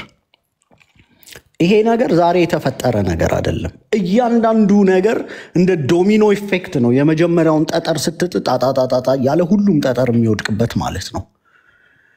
historical narrative አለው። እኛ ላይ የሚፈጸመው አሁን genocide ኡ ምኑ ሀገር ይወዳሉ ተብሎ የተፈጠረ ነው። አህዳዊ ተብለን እኮ ነው አይደል? ለ genocide የተመቻቸ ነው። አማራ ለሌሎች ብሔር ብሔረሰቦች autonomous መስጠት የማይፈልግ በራሱ ምስል ኢትዮጵያን መቅረጽ የሚፈልግ አንድ ሀገር አንድ ህዝብ የሚመኝ የባህር በር የሚመኝ ህዝብ ነው። ይሄ አህዳዊ ህዝብ በብሔር ብሔረሰቦች መቀጥቀጥ አለበት ነው የተባልነው። የእኛ እብድ የሆኑ አባቶች ብዙዎቹ sanity ያቸውን ሁሉ ጥያቄ ምልክት ውስጥ ከትቻለሁ። ከጎን የሚሰራውን ፖለቲካ ሳይገመግሙ stubborn ሆነው አንድ ideology ላይ ተጣብቀው ማለት ነው። ለታሪክ ግን ዛሬ ላይ ስማቸው ተነስቶ መመስገንም አለባቸው። ምክንያቱም አንተ የእድገት ደረጃ ኋላ ቀር ሆኖ ከ50 ዓመት ከሰባ ዓመት በላይ የደረስክበትን ፖለቲካ እነዚህ ሰዎች ከሰባ ዓመት በፊት ከ50 ዓመት በፊት ነግረውሃል። ኢትዮጵያ ትልቅ ሀገር ነው፣ የባህር በር ያስፈልገዋል።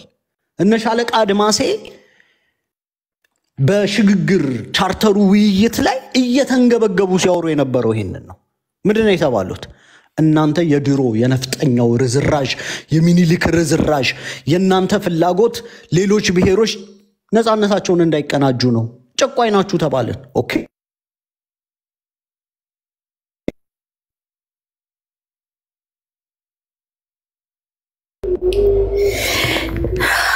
እንዴት እንትን ይላል። ዩሪ መጣ። ማን ነው መቀጠል የሚፈልገው? ዩሪ ስልክ አለብህ መሰል በተደጋጋሚ ዋይ ውርተህ ትመጣ። ማይ ጋድ ደጋግሞ እየደወሉበት ከባድ ና ዩሪ ከባድ ሰው። እስኪ ሌላው ይቀጥል። እስከዛ እንጠብቀው መሰለኝ ትንሻ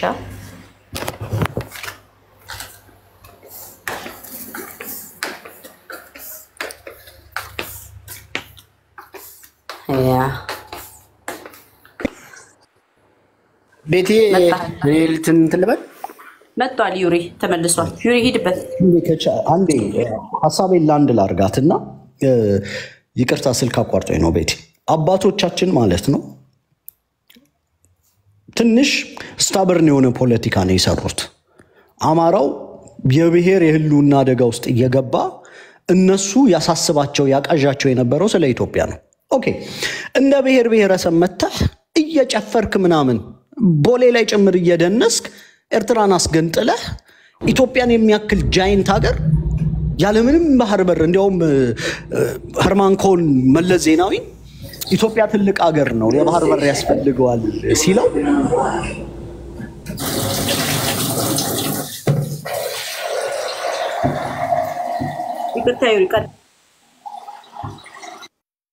okay ኢትዮጵያ ትልቅ ሀገር ነው የባህር በር ያስፈልገዋል አለው ለመለስ ዜናዊ ኸርማን ኮን ራሱ የጻፈውን ነው የምነግራችሁ። አይ እኛ የኛ ያልሆነን አንፈልግም ነው ያለው መለስ ዜናዊ። ቃል በቃል የተናገረው የኦሮሞ ብሔርተኞች የዛን ጊዜ ለኤርትራ independence ይታገሉ ነበር። አማራው ነው እንዳትገነጠሉ ያደረጋችሁ አህዳዊ የሆነው አማራው ነው መሬታችሁን የሚመኘው አማራው ነው የባህር ድንበራችሁን የሚመኘው እኛ አይደለንም ይሉ ነበር።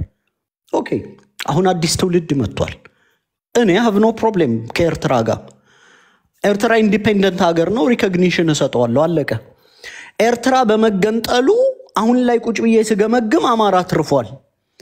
ምክንያቱም ኤርትራ ባይገነጠል ኖሮ ዛሬም ድረስ የኤርትራ ወጣቶች ሊያራምዱ የሚችሉት ፖለቲካ ከትግራይ ወጣት የተለየ ሊሆን አይችልም። የብሔር ጭቆና ነው። አማራው እንዳንገነጠል አድርጎናል ነው። ኢትዮጵያ የመቶ ዓመት እድፍ አለባት እንደሚለው የትግሬና የኦሮሞ ብሔርተኞችን ትርክት ነበር የሚያራምዱት። ኤርትራውያን በመገንጠላቸው ምን ሆነ? አዲስ የፖለቲካ ስፔክትረም ኤርትራ ውስጥ ተወለደ።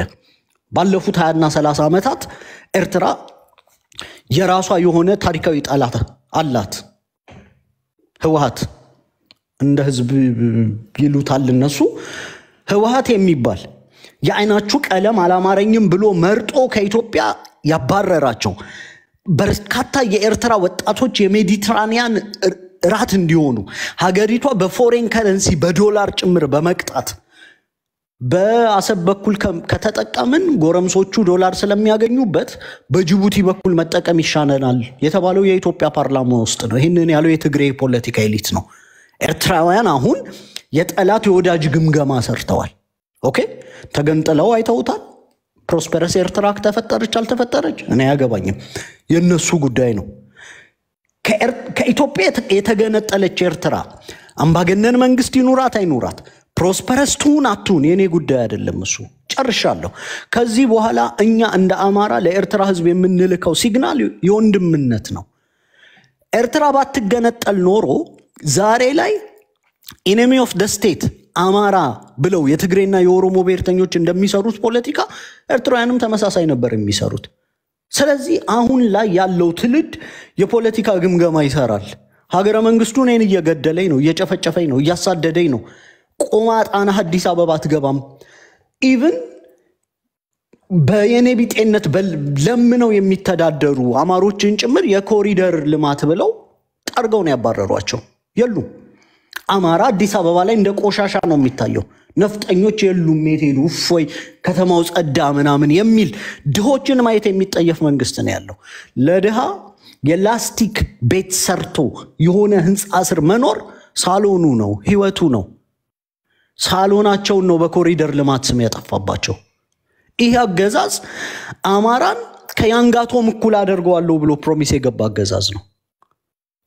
ለዚህ ነው የህልውና አደጋ አለብን የምንለው። ስለዚህ ከዚህ መንግስት ጋር ምን አይነት alliance እንደሚያደርጉ እኔ አላቅም። ይሄ የእስክንድር ኃይል ሊያደርግ ከቻለ ለራሴ ይገርመኛል። ከዛ በተረፈ ግን አንድ የመጨረሻ የምናገረው ነገር አሁን ኢትዮጵያውያንም ኤርትራውያንም ግብፅም ሶማሊያም ከኛ የሚፈልጉት ነገር አለ። አብይ አህመድም ከኛ የሚፈልገው ነገር አለ። የምንፈልገውን ይስጡን፣ የሚፈልጉትን እንሰጣቸዋለን። አለቀ።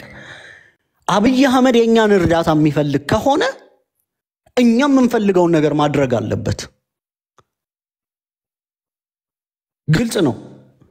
ኤርትራ የእኛን እርዳታ የሚፈልግ ከሆነ ለወደፊት sovereignty ውን ጠብቆ መቀጠል የሚፈልግ ከሆነ ይሄ የማይጠረቃው hegemony ባሬንቱ ቦረናና ባሬንቱ ከሚል የኔ ነገድ የመጣ ነው ምናምን ብሎ ከአዲስ አበባ እስከ ባሬንቱ አይኑን የዘ- የዘረጋ ይሄ የመሬት አምሮቱ ሊሰበሰብ የማይችል የመሬት ለሀጭ ያለው አካል እንዳይወረው ከፈለገ ለእኛም የምንፈልገውን ነገር መስጠት አለበት። ኤርትራ አማራ key player ነው። for that matter ትግሬዎች እንኳን ቆመው ራሳቸውን መገምገም መቻል አለባቸው። ከአማራ ጋር ያላቸው ግንኙነት አሁን በያዙበት መልኩ ቢሄድ ይሻላል ወይስ ይሄ key የሆነ regional figure እየሆነ የመጣ የአማራ ኃይል ጋር ሌላ አይነት አካሄድ መጠቀም አለባቸው? ይህን ማየት አለባቸው። እኛ ራሳችንን ማጠናከር ነው። የመጨረሻ አንድ ግን ለአማራው መናገር የምፈልገው እችን ጆሮአችሁ ውስጥ ያዟት። ይኸውላችሁ ከግብፅ ጋር ያልሰራ የለም። የኦሮሞ ተቋማት ሰርተዋል። ትግሬዎች አብዛኛውን ተቃዋሚዎች የግብፅ ተላላኪ እያሉ ነበረ የሚከሱ የነበረው። ከስልጣን ሲባረሩ ምንድን ነው ያለው ስዩም መስፍን? ኢትዮጵያ ውስጥ አሁን የሚከፈተው Pandora box ነው አለ። አብይ አህመድ ከኤርትራ ጋር ሲወግን እኛ ደግሞ ከግብፅ ጋር እንወግናለን ነው ያለው። ትላንት የግብፅ ተላላኪ የነበረው ቤተ መንግስት ሲገባ የግብፅ ወዳጅ ሆነ፣ አሚን የግብፅ ጠላት ሆነ። ትላንት የግብፅ ጠላት የነበረው ከቤተ መንግስት ሲባረር የግብፅ ወዳጅ ሆነ። ይሄ ፖለቲካ ነው፣ አለቀ። ለአማራ ብቻ patriotism፣ የሀገር ፍቅር ስሜት ምናምን ብለህ ፓትሪዮቲዝም አይበላም። የሀገር ፍቅር ስሜት በጎ ነው። ሀገር ሲኖርህ ነው የሀገር ፍቅር የሚኖር። ሀገርህ ላይ ላይ ፈርሶ አሁን እኮ አማራው ምን አይነት ህዝብ መሰላችሁ? እናቱ መሞቷን ያልሰማ ሞልቃቃ ህፃን ልጅ ማለት ነው። እናት ሞታለች። ችጋር ቢልጥህ መንገድ ላይ ብተኛ እግር ቢቆራረጥ ሱሪህ ዝቅ ቢል እናትህ ስለሞተች ማንም ጉዳዩ አይደለም። እናትህ ስትሞት ፊት ነጭ ሲሆን ባዝሊን ትቀባሃለች። ሱሪ ዝቅ ሲል ቀበቶ ታስታጥቃለች። እናትህ መሞቷን ያልሰማህ አማራ ነህ። አሁን በፖለቲካ ውስጥ መተህ እኛን የምትበጠብጠን። እኛ ከግብፅ ጋር ሆነን መንግስት እንውጋላልንም ሀገሩን እንውጋላልንም። እኛ እኛንን የጀመርነውን ጦርነት ግን አናቆምም። አይናችን ቤተ መንግስት ነው። ለግብፅ ብለን አይደለም የምናዋጋው። ዛሬ ለግብፅ ብዬ ያልጀመርኩትን ጦርነት ነገ ለግብፅ ስለመጣም ማቆመው ጦርነት የለም። የህልውና አደጋ አለብኝ፣ genocide ተፈጸመብኝ ብያለው። የህልውና አደጋና genocide የፈጠረብኝን አካል ከቤተ መንግስት እስክነቅለው ድረስ አንድም ቀን እንቅልፍ የለኝም። ይቺን ብዬ ላብቃ። ከግብፅ ጋር ወያኔ ሰርቷል፣ ኦነግ ሰርቷል። አብይ አህመድ ዛሬ ከስልጣን ቢባረር ነገ ከግብፅ ጋር ይሰራል። ይውላችሁ ከግብፅ ጋር አብይ አህመድ ራሱ ነገ ይሰራል። ፖለቲካውን ያን ያህል ነው መያዝ መቻል ያለባችሁ። ቤተ መንግስት ነው፣ aspiration አለው፣ ሀገር ማስተዳደር ይፈልጋል፣ ጠንካራ military መፍጠር ይፈልጋል። ይሄ military የሚታዘዘው በጠቅላይ ሚኒስቴሩ ነው። አማራን ግደልልኝ ሲለው እያፏጨ መጣውልህ አማራ ብሎ የብሔር ስማችንን ጠርቶ ነው እኮ military ው የሚመጣው። ህግ ለማስከበር እኮ አይደለም። ህግ ተጥሶ ህግ ለማስከበር መጣውልህ አማራ ስትል የአማራ ህዝብን ሊወጋ ነው የሚመጣው። መንግስት ላይ ያመፁ monopoly of violence ምናምን የያዙ አካሎችን እንደ ወንጀለኛ ፈርጆ ምናምን እንኳን ቢመጣ ታጣቂ ኃይሎችን ልወጋ እየመጣው ነው ማለት ያለበት አማራውን ይጠብቃል ተብሎ በጀት የሚመደብለት የመከላከያ ሰራዊት በአብይ አህመድ ሲላክ አማራ መጣውልህ እያለ የብሔር ስም እየጠራ ብሔር ሊያጠፋ የሚመጣ genocidal structure ነው መከላከያው። አሁን everything is against አማራ ስለጠነከርን ብቻ ነው ጠላቶቻችን ቆሞ ማሰብ የጀመሩት። እኛ ከደከምን ለጠላቶቻችን ጡንቻችንን ካላሳየናቸው for granted እንዲወስዱን ካደረግናቸው እኛ ጋር የሆነ እነሱ የሚፈልጉት ነገር እንዳለ ልናሳያቸው ካልቻልን በስተቀር ማንም እያዋረደንና እየተፋብን የሚኖር ህዝብ ነው የምንሆነው። ስለዚህ long story short ምንም ከፀሐይ በታች የሚገርም ነገር የለም። genocide የተፈጸመበት አካል በእርጋታ ቁጭ ብሎ ሊያይ ይችላል። ከማንም ጋር ሊሰራ ይችላል። ይዋጣላችሁ ብሎ እስኪዋጣላችሁ ቁጭ ብሎ ሊያይ ይችላል። መንግስት የሚባለው አካል የምንፈልገውን ነገር ከሰጠን ችግር የለውም። የሚሰጠን ምንድን ነው? ስልጣን ማለት ነው። አብይ አህመድ ወርዶ ይህ ሀገር አደጋ ውስጥ ስለገባ እናንተ ታደጉት ብሎ ስልጣኑን ለእኛ ካስረከበ ችግር የለውም። ለዚህ ሀገር እንሞታለን፣ እንቆስላለን። at the end of the day የኢትዮጵያ ጉዳይ የሚያስጨንቃቸው ከሆነ ነገር ግን ቤተ መንግስት እስካለው ድረስ ምርጥ ኢትዮጵያዊ ነኝ። ከቤተ መንግስት ስወጣ ግን እልል ያልኩ የኦሮሞ ብሔርተኛ ነኝ የሚለው አብይ አህመድ ዛሬ ከስልጣኑ ብታነሳው ነገ የግብፅ ደጋፊ ሆኖ መጥቶ ነው የሚወጋን። ይሄ ፖለቲካ ነው። አማራውን በተለየ የፓትሪዮቲዝም ስሜት ቀፍድዶ እጅና እግሩን አስሮ የጥፋተኝነት ስሜት እንዲሰማው የአባቶቹን ሀገር እንደ ካደ ምናምን አይነት ነገር የማይጨበጥ ሚትስ የሆነ ፖለቲካ የለም። ይህንን አምኖ ግብፅ እየመጣች ነው ብሎ ጦርነት የሚያቆም ፋኖ ካለ ነገ ከነጎዲያ ለሚፈጠርበትም ራሱን ይችሏል። ከስህተቱ የማይማር መሀይም ነው ማለት ነው። እንዲህ አይነቱ የፋኖ structure ካለ እኛ የምንታገለው ነው የሚሆነው። ግብፅን ደግፍ ያለ የለም። የባንዳነት ስራ ያለ የለም። እኛ ጦርነት ውስጥ ነን። የግብፅ ጦርነት በመሀል የመጣ ነው። የእኛ ጦርነት ፍትሐዊ ጦርነት ነው። የህልውና አደጋ ለማስቆም የጀመርነው ጦርነት ነው። ግብፅ ጦርነት ብትጀምርም ባትጀምርም የኛ ጦርነት ይቀጥላል። ከግብፅ ጋር አብረን አይደለም። ኦነግ ከዚያ አድባሬ ጋር ሆኖ መንግስቱ ኃይለማርያምን ወቅቷል። ህወሀት እና ሻዕቢያ ጭምር ከዚያ አድባሬ ጋር ሆኖ መንግስቱ ኃይለማርያም ዛአድባሬን ሲዋጋ የህወሀት ኃይሎች እኮ ሶማሌ ላይ መግለጫ ይሰጡ ነበረ። በሶማሌ ፓስፖርት ነበር ይንቀሳቀሱ የነበረው። ለነሱ በወቅቱ የህልውና አደጋቸው ኢትዮጵያ የሚባለው state ነው ብለው ስለገመገሙ ራሳቸውን ቤተ መንግስት ለመክተት መስራት ካለባቸው ኃይሎች ጋር በሙሉ ሰርተው ነው ቤተ መንግስት የገቡት። አማራ super power አይደለም። ከሌሎች ጋር alliance ሳይፈጥር opportunity ዎችን ሳይጠቀም በ patriotism ብቻ ቀፍድደኸው ዝም ብሎ ተነስቶ ቤተ መንግስት መግባት የሚችል ህዝብ አይደለም። ይኸውላችሁ እኔ አንዳንዴ ቃላት ራሱ እንዲያጥረን ነው የምታደርጉን። ይቺን ልበልና አላቁም። የህልውና አደጋ አለብኝ፣ genocide እየተፈጸመብኝ ነው ካልክ ብሔር ብሔረሰቡም seriously እንዲወስድህ፣ ዓለምም seriously እንዲወስድህ፣ international institutions ጭምር genocide የሚፈጸምበት ማህበረሰብ አይ ግብፅ ስለመጣች genocide የሚፈጽምብኝን መንግስት ላድን ለጊዜው ጦርነት አቁም ያለው ብትል ነገ seriously ወስዶ የሚያደምጥ የለም። Be serious ወይ የምታወራውን እመነውና ኑረው፣ ወይ ካላመንከው ሌላ የፖለቲካ አማራጭ ተከተል። እኔ እድሜን፣ ጊዜን፣ ጉልበቴን የማባክነው የአማራ ህዝብ genocide ተፈጽሞበታል ብዬ ነው እንጂ ሌላ የፖለቲካ aspiration የለኝም። የአማራ ህዝብ genocide ባይፈጸምበት ኖሮ we have better things to do። ዛሬ vacation ልንወጣ እንችላለን። ከቤተሰቦቻችን ጊዜ ቆርጠን ነው። toxic የሆነ ፖለቲካ ውስጥ ነው ያለነው። ምንም የሚያስደስት ነገር የለውም ይሄ ፖለቲካ። ስለዚህ genocide እንደሚፈጸምበት ህዝብ act እናርግ ለማለት ነው። ጨርሻለሁ። ቤቲ፣ መልካም ውይይት። ዋሉ። ባጨርስ መልካም ነበር ዩሪ። አይደለም? ማዳመጥ በቃ ባትጨርስ ነበር ደስ የሚለን anyway ዩሪ። በጣም ነው የምናመሰግነው የምር ማለት ነው። ዩሪ እድሜ በርታልን ወንድም አለም። እድል ልስጣችሁ ለአንዳንድ ወንድሞቻችን እህቶቼ ለመጣችሁ ማለት ነው። ድል ለፋኖ አውርተሃል እንዴ የለህም መሰል ድል ለፋኖ። ይቀጥሉ ሌሎች። አለ? ኦኬ። ሊቀሽ ድሉን ልስጥህ። ሁለት ሁለት አጠር አድርጌ ልሄድበት። እሺ አለው። ግብፅ የሚለው ነገር ያልነቁ ሰዎች አሉ ከመታፈስ ራሳቸውን እንዲጠብቁ እና እኛን አይመለከትም። በተለይ የአማራን ልጅ አይመለከትም። በአሁኑ ሰዓት ነው የምለው። አመሰግናለሁ። ታንኪዩ ድለፋኑ አመሰግናለሁ። ሊቀ ከላይ ልጀምርና ያው ሀሳባችሁን ገልጣችሁ ገልጣችሁ ያው እኔ የምዘጋለሁ ማለት ነው። ጥሩ ነው የነበረን ፕሮግራም። ሊቅ አለ ሂድበት። አለውኝ ቤቲ፣ እንዴት ናችሁ? ድምፄ ይሰማል? ልቀጥል? አዎ ቀጥል። እንዴት እሺ፣ አለውኝ። እግዚአብሔር ይመስገን።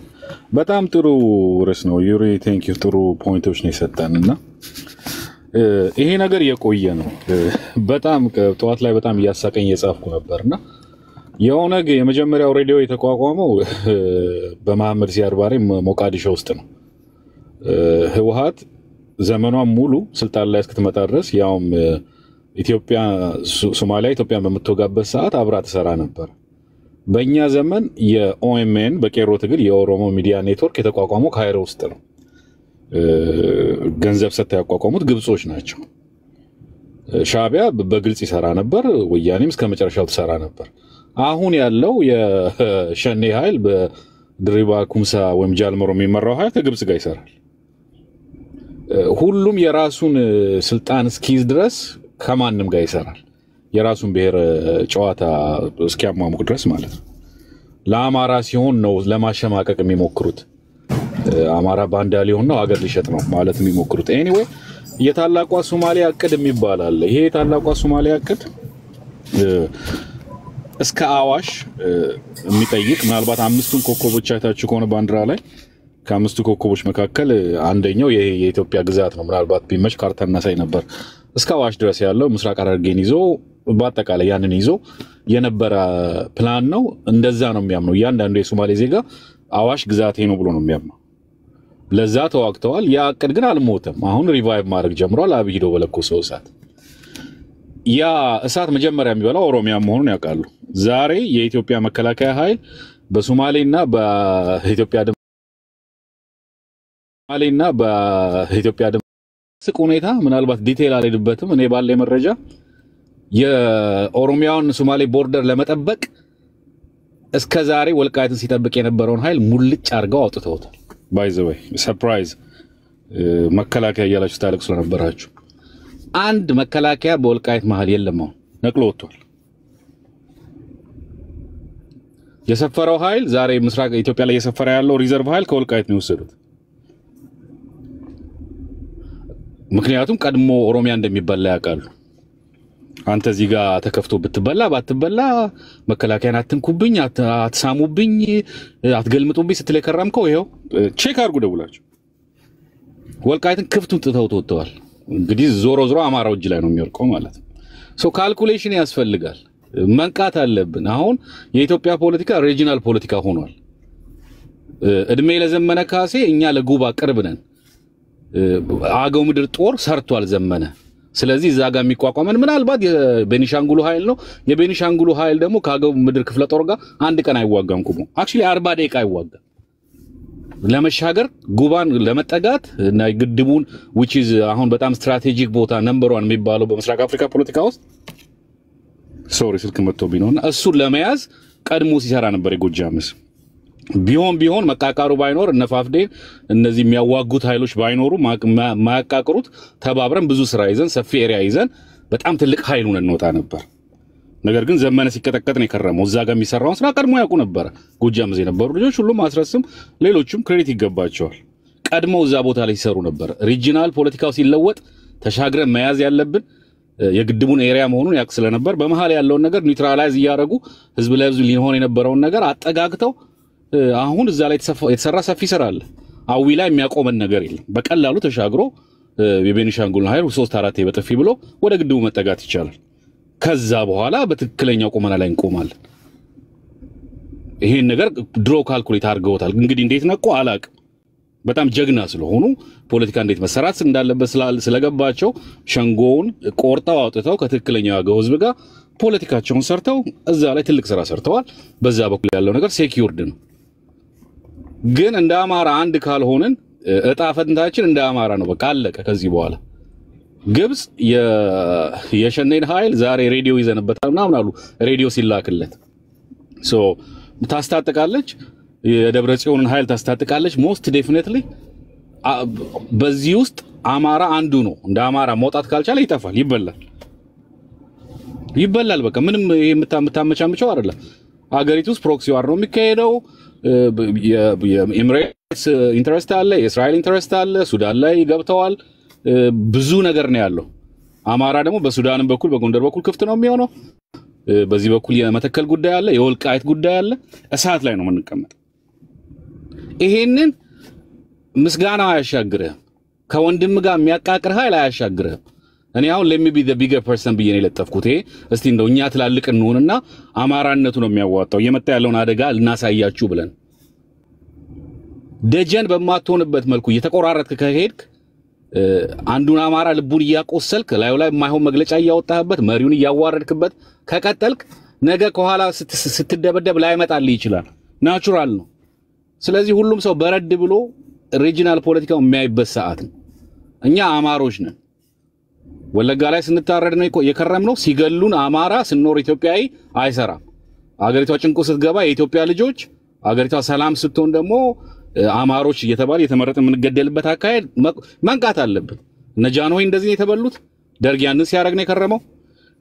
ይሄን ልንገራችሁ በሶማሊያ እና ኢትዮጵያ ስትዋጋ ጃንሆይ የመሰረቱት ኃይል ነው ደርግን ያተረፈው። ከዛ ውጭ ደግሞ ምናልባት አየር ኃይሉን ያንቀሳቀሱት ልጆች ጀነራሎች በሙሉ የአማራ ልጆች ናቸው።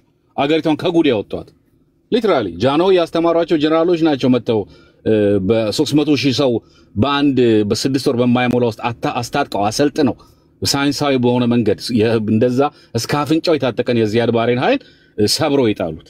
data ውን ብታዩት አይገናኝም ነበር። ሶማሌ ታጥቆ የነበረው በዚህ በኩል ታጥቆ የነበረው አማራው የሰራው ጃንሆይ የሰሩት የእኛ ጀነራሎች የሰሩት ስማቸው መዘርዘር ይቻላል ከላይ እስከታች በአየር ላይ በምድር ላይ ተናንቀው አገሪቷን አስጥለዋታል። ከዛ በኋላ ግን ለእነሱ ልጆች የተከፈለን ክፍያ ወለጋ ላይ መታረድ፣ የካንሰር ህመምተኛ አዲስ አበባ refer ተጽፎለት አለ- አለመታከም፣ ይህንን ያተረፍ ነው። ሰው አሁንም መንቃት አለብን። የሚያዋጣን እንደ አማራ መቆም ነው። ከዚህ በኋላ የኢትዮጵያ ፖለቲካ እየተጨመላለቀ ነው የሚሄደው። አሜሪካኖችን በራሳቸው ጉዳይ በብዙ ነገር ተይዘዋል። የዓለም ሁኔታ በጣም አስቸጋሪ ነው። ሰው ግብፅ የአሜሪካ አጋር ናት፣ ግልጽ ነው። ከኛ ይልቅ ግብፅ ነው የሚደግፉት። የ UAE interest አለ ከአልፋሽጋ ጀምሮ። አረቦቹ መሬት የላቸውም፣ ውሃ የላቸውም፣ ይፈልጋሉ ሰፋፊ መሬት which is የአማራ መሬት፣ የጎንደር መሬት አርቀን ማሰብ መቻል አለብን። በዚህ መንገድ አንወጣው። እንደ እስክንድር አይነት እንትን ላንኩሳ ተሸክመ እና እንደዚህ ሰኔ 15 ላይ የተቸከለ አልቃሻ ቡድን ይዘ እየተቋሰልክ የትም አትደርስም። በቃ literally የሚመጣው ኃይል ፊት ለፊት ሊያገኘውን ነው የሚረዳው። አማራ ደግሞ ለጉባ ቅርብ ነው። በቃ ግድቡ ተሞልቷል። ይሄ ግድብ ራሱ national weapon ነው። ያንን ኃይል ያንን ቦታ የሚይዝ ኃይል በምስራቅ አፍሪካ ላይ giant ሆኖ ነው የሚወጣው። ያ ደግሞ የእኛ መሬት ነው። ያን ግድብ ከጮቄ ጮቄ ላይ መገደብ ይችሉ ነበር። አሳጥራለሁ እያስረዘምኩ ነው። አውርደው ጉባ ላይ እንትን ያሉት ከኛ ማራቃቸው ነበር። ባይዘ more ጥቅም የሚሰጠው ላይ ቢሆን ነበር። still እኛ ጫፍ ላይ ነው ያለው። የእኛ መሬት ነው። ቤኒሻንጉል ተብሎ ራሱ ያለ ህግ የመጣው ክልል ወደፊት ኦሮሞዎቹ እኛ እንውጠዋለን ብሎ calculate አድርገው ያስቀመጡት ቦታ ነው የእኛ መሬት ነው። መንቃት አለብን። ከዚህ በኋላ የሚመጣው ፖለቲካ ይዞ ሊጠፋ ይችላል። ደግሞ ደግሞ እንደ opportunity ም ልንጠቀምበት እንችላለን። አማራ ሀገሩን ይወዳል፣ ግልጽ ነው። ታሪካችን ማውራት ራሱ የለብንም። ስለ አማራ ሀገር መውደድ ማውራት የለብንም። ታሪክ አንብቡ ብለን ነው ማለፍ ያለብን። አሁን ግን ለየትኛው ሀገር ነው የምንሞተው? የእኛ ስጣ እንዴት ነው የአሰላለፉ? እኛ የምንንገበገብለት ኢትዮጵያ አለ በሌላው ልብ ውስጥ አለ ወይ? የለም። በሌላው ልብ ውስጥ ቢኖር ኖሮ ኧረ ቆይ እስቲ ከወልቃይት ይህን ሁሉ ኃይል ስንነቅል እኮ ሊበሉ ይችላሉ እነዚህ ሰዎች ትንሽ don't care ብድግ አድርገው ወሰዱት። ባዶ ነው የምትቀረው። እንደዚህ አይነት ነገር ነው የሚፈጠረውና ቀልብ ብንገዛ ጥሩ ነው። ያለው ነገር አደገኛ ነው። እየተበላሸ ነው የሚሄደው፣ እየጨመረ ነው የሚሄደው። ግብጾች አስበውበት ነው የመጡት። በሱዳን በኩል ያለው ነገር ግልጽ ነው። ህወሀት ለሁለት ተከፍላለች፣ ግልጽ ነው። የጌታቸው አንጃ እየተሸነፈ ነው የሚሄደው። አክራሪው የነ ሞንጆሪኖ group ነው የሚመጣው። እሱ ደግሞ ተመልሶ ከማጥቃት ወደኋላ አይልም።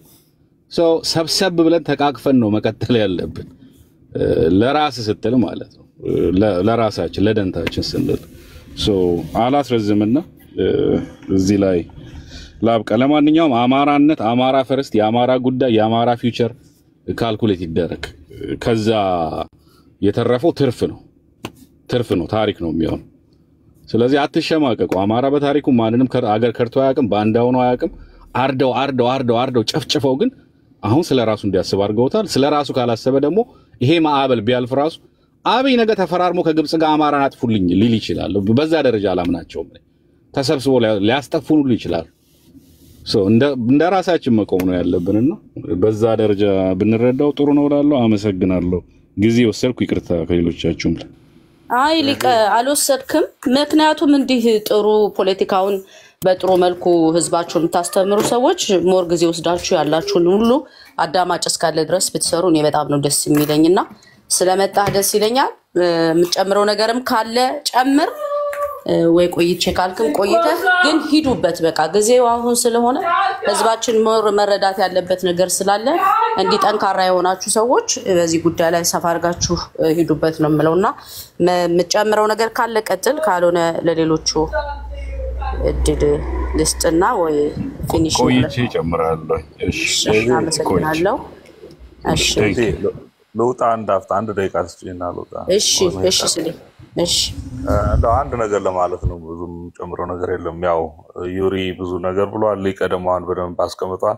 በነገራችን ላይ ሊቀ ባትጠፋ ጥሩ ነው። I think በጣም የሚጠቅመን ነገር ትሰጠናለህ። እኔ አሁን ቤቲን በተናገረችው ልክ ነው።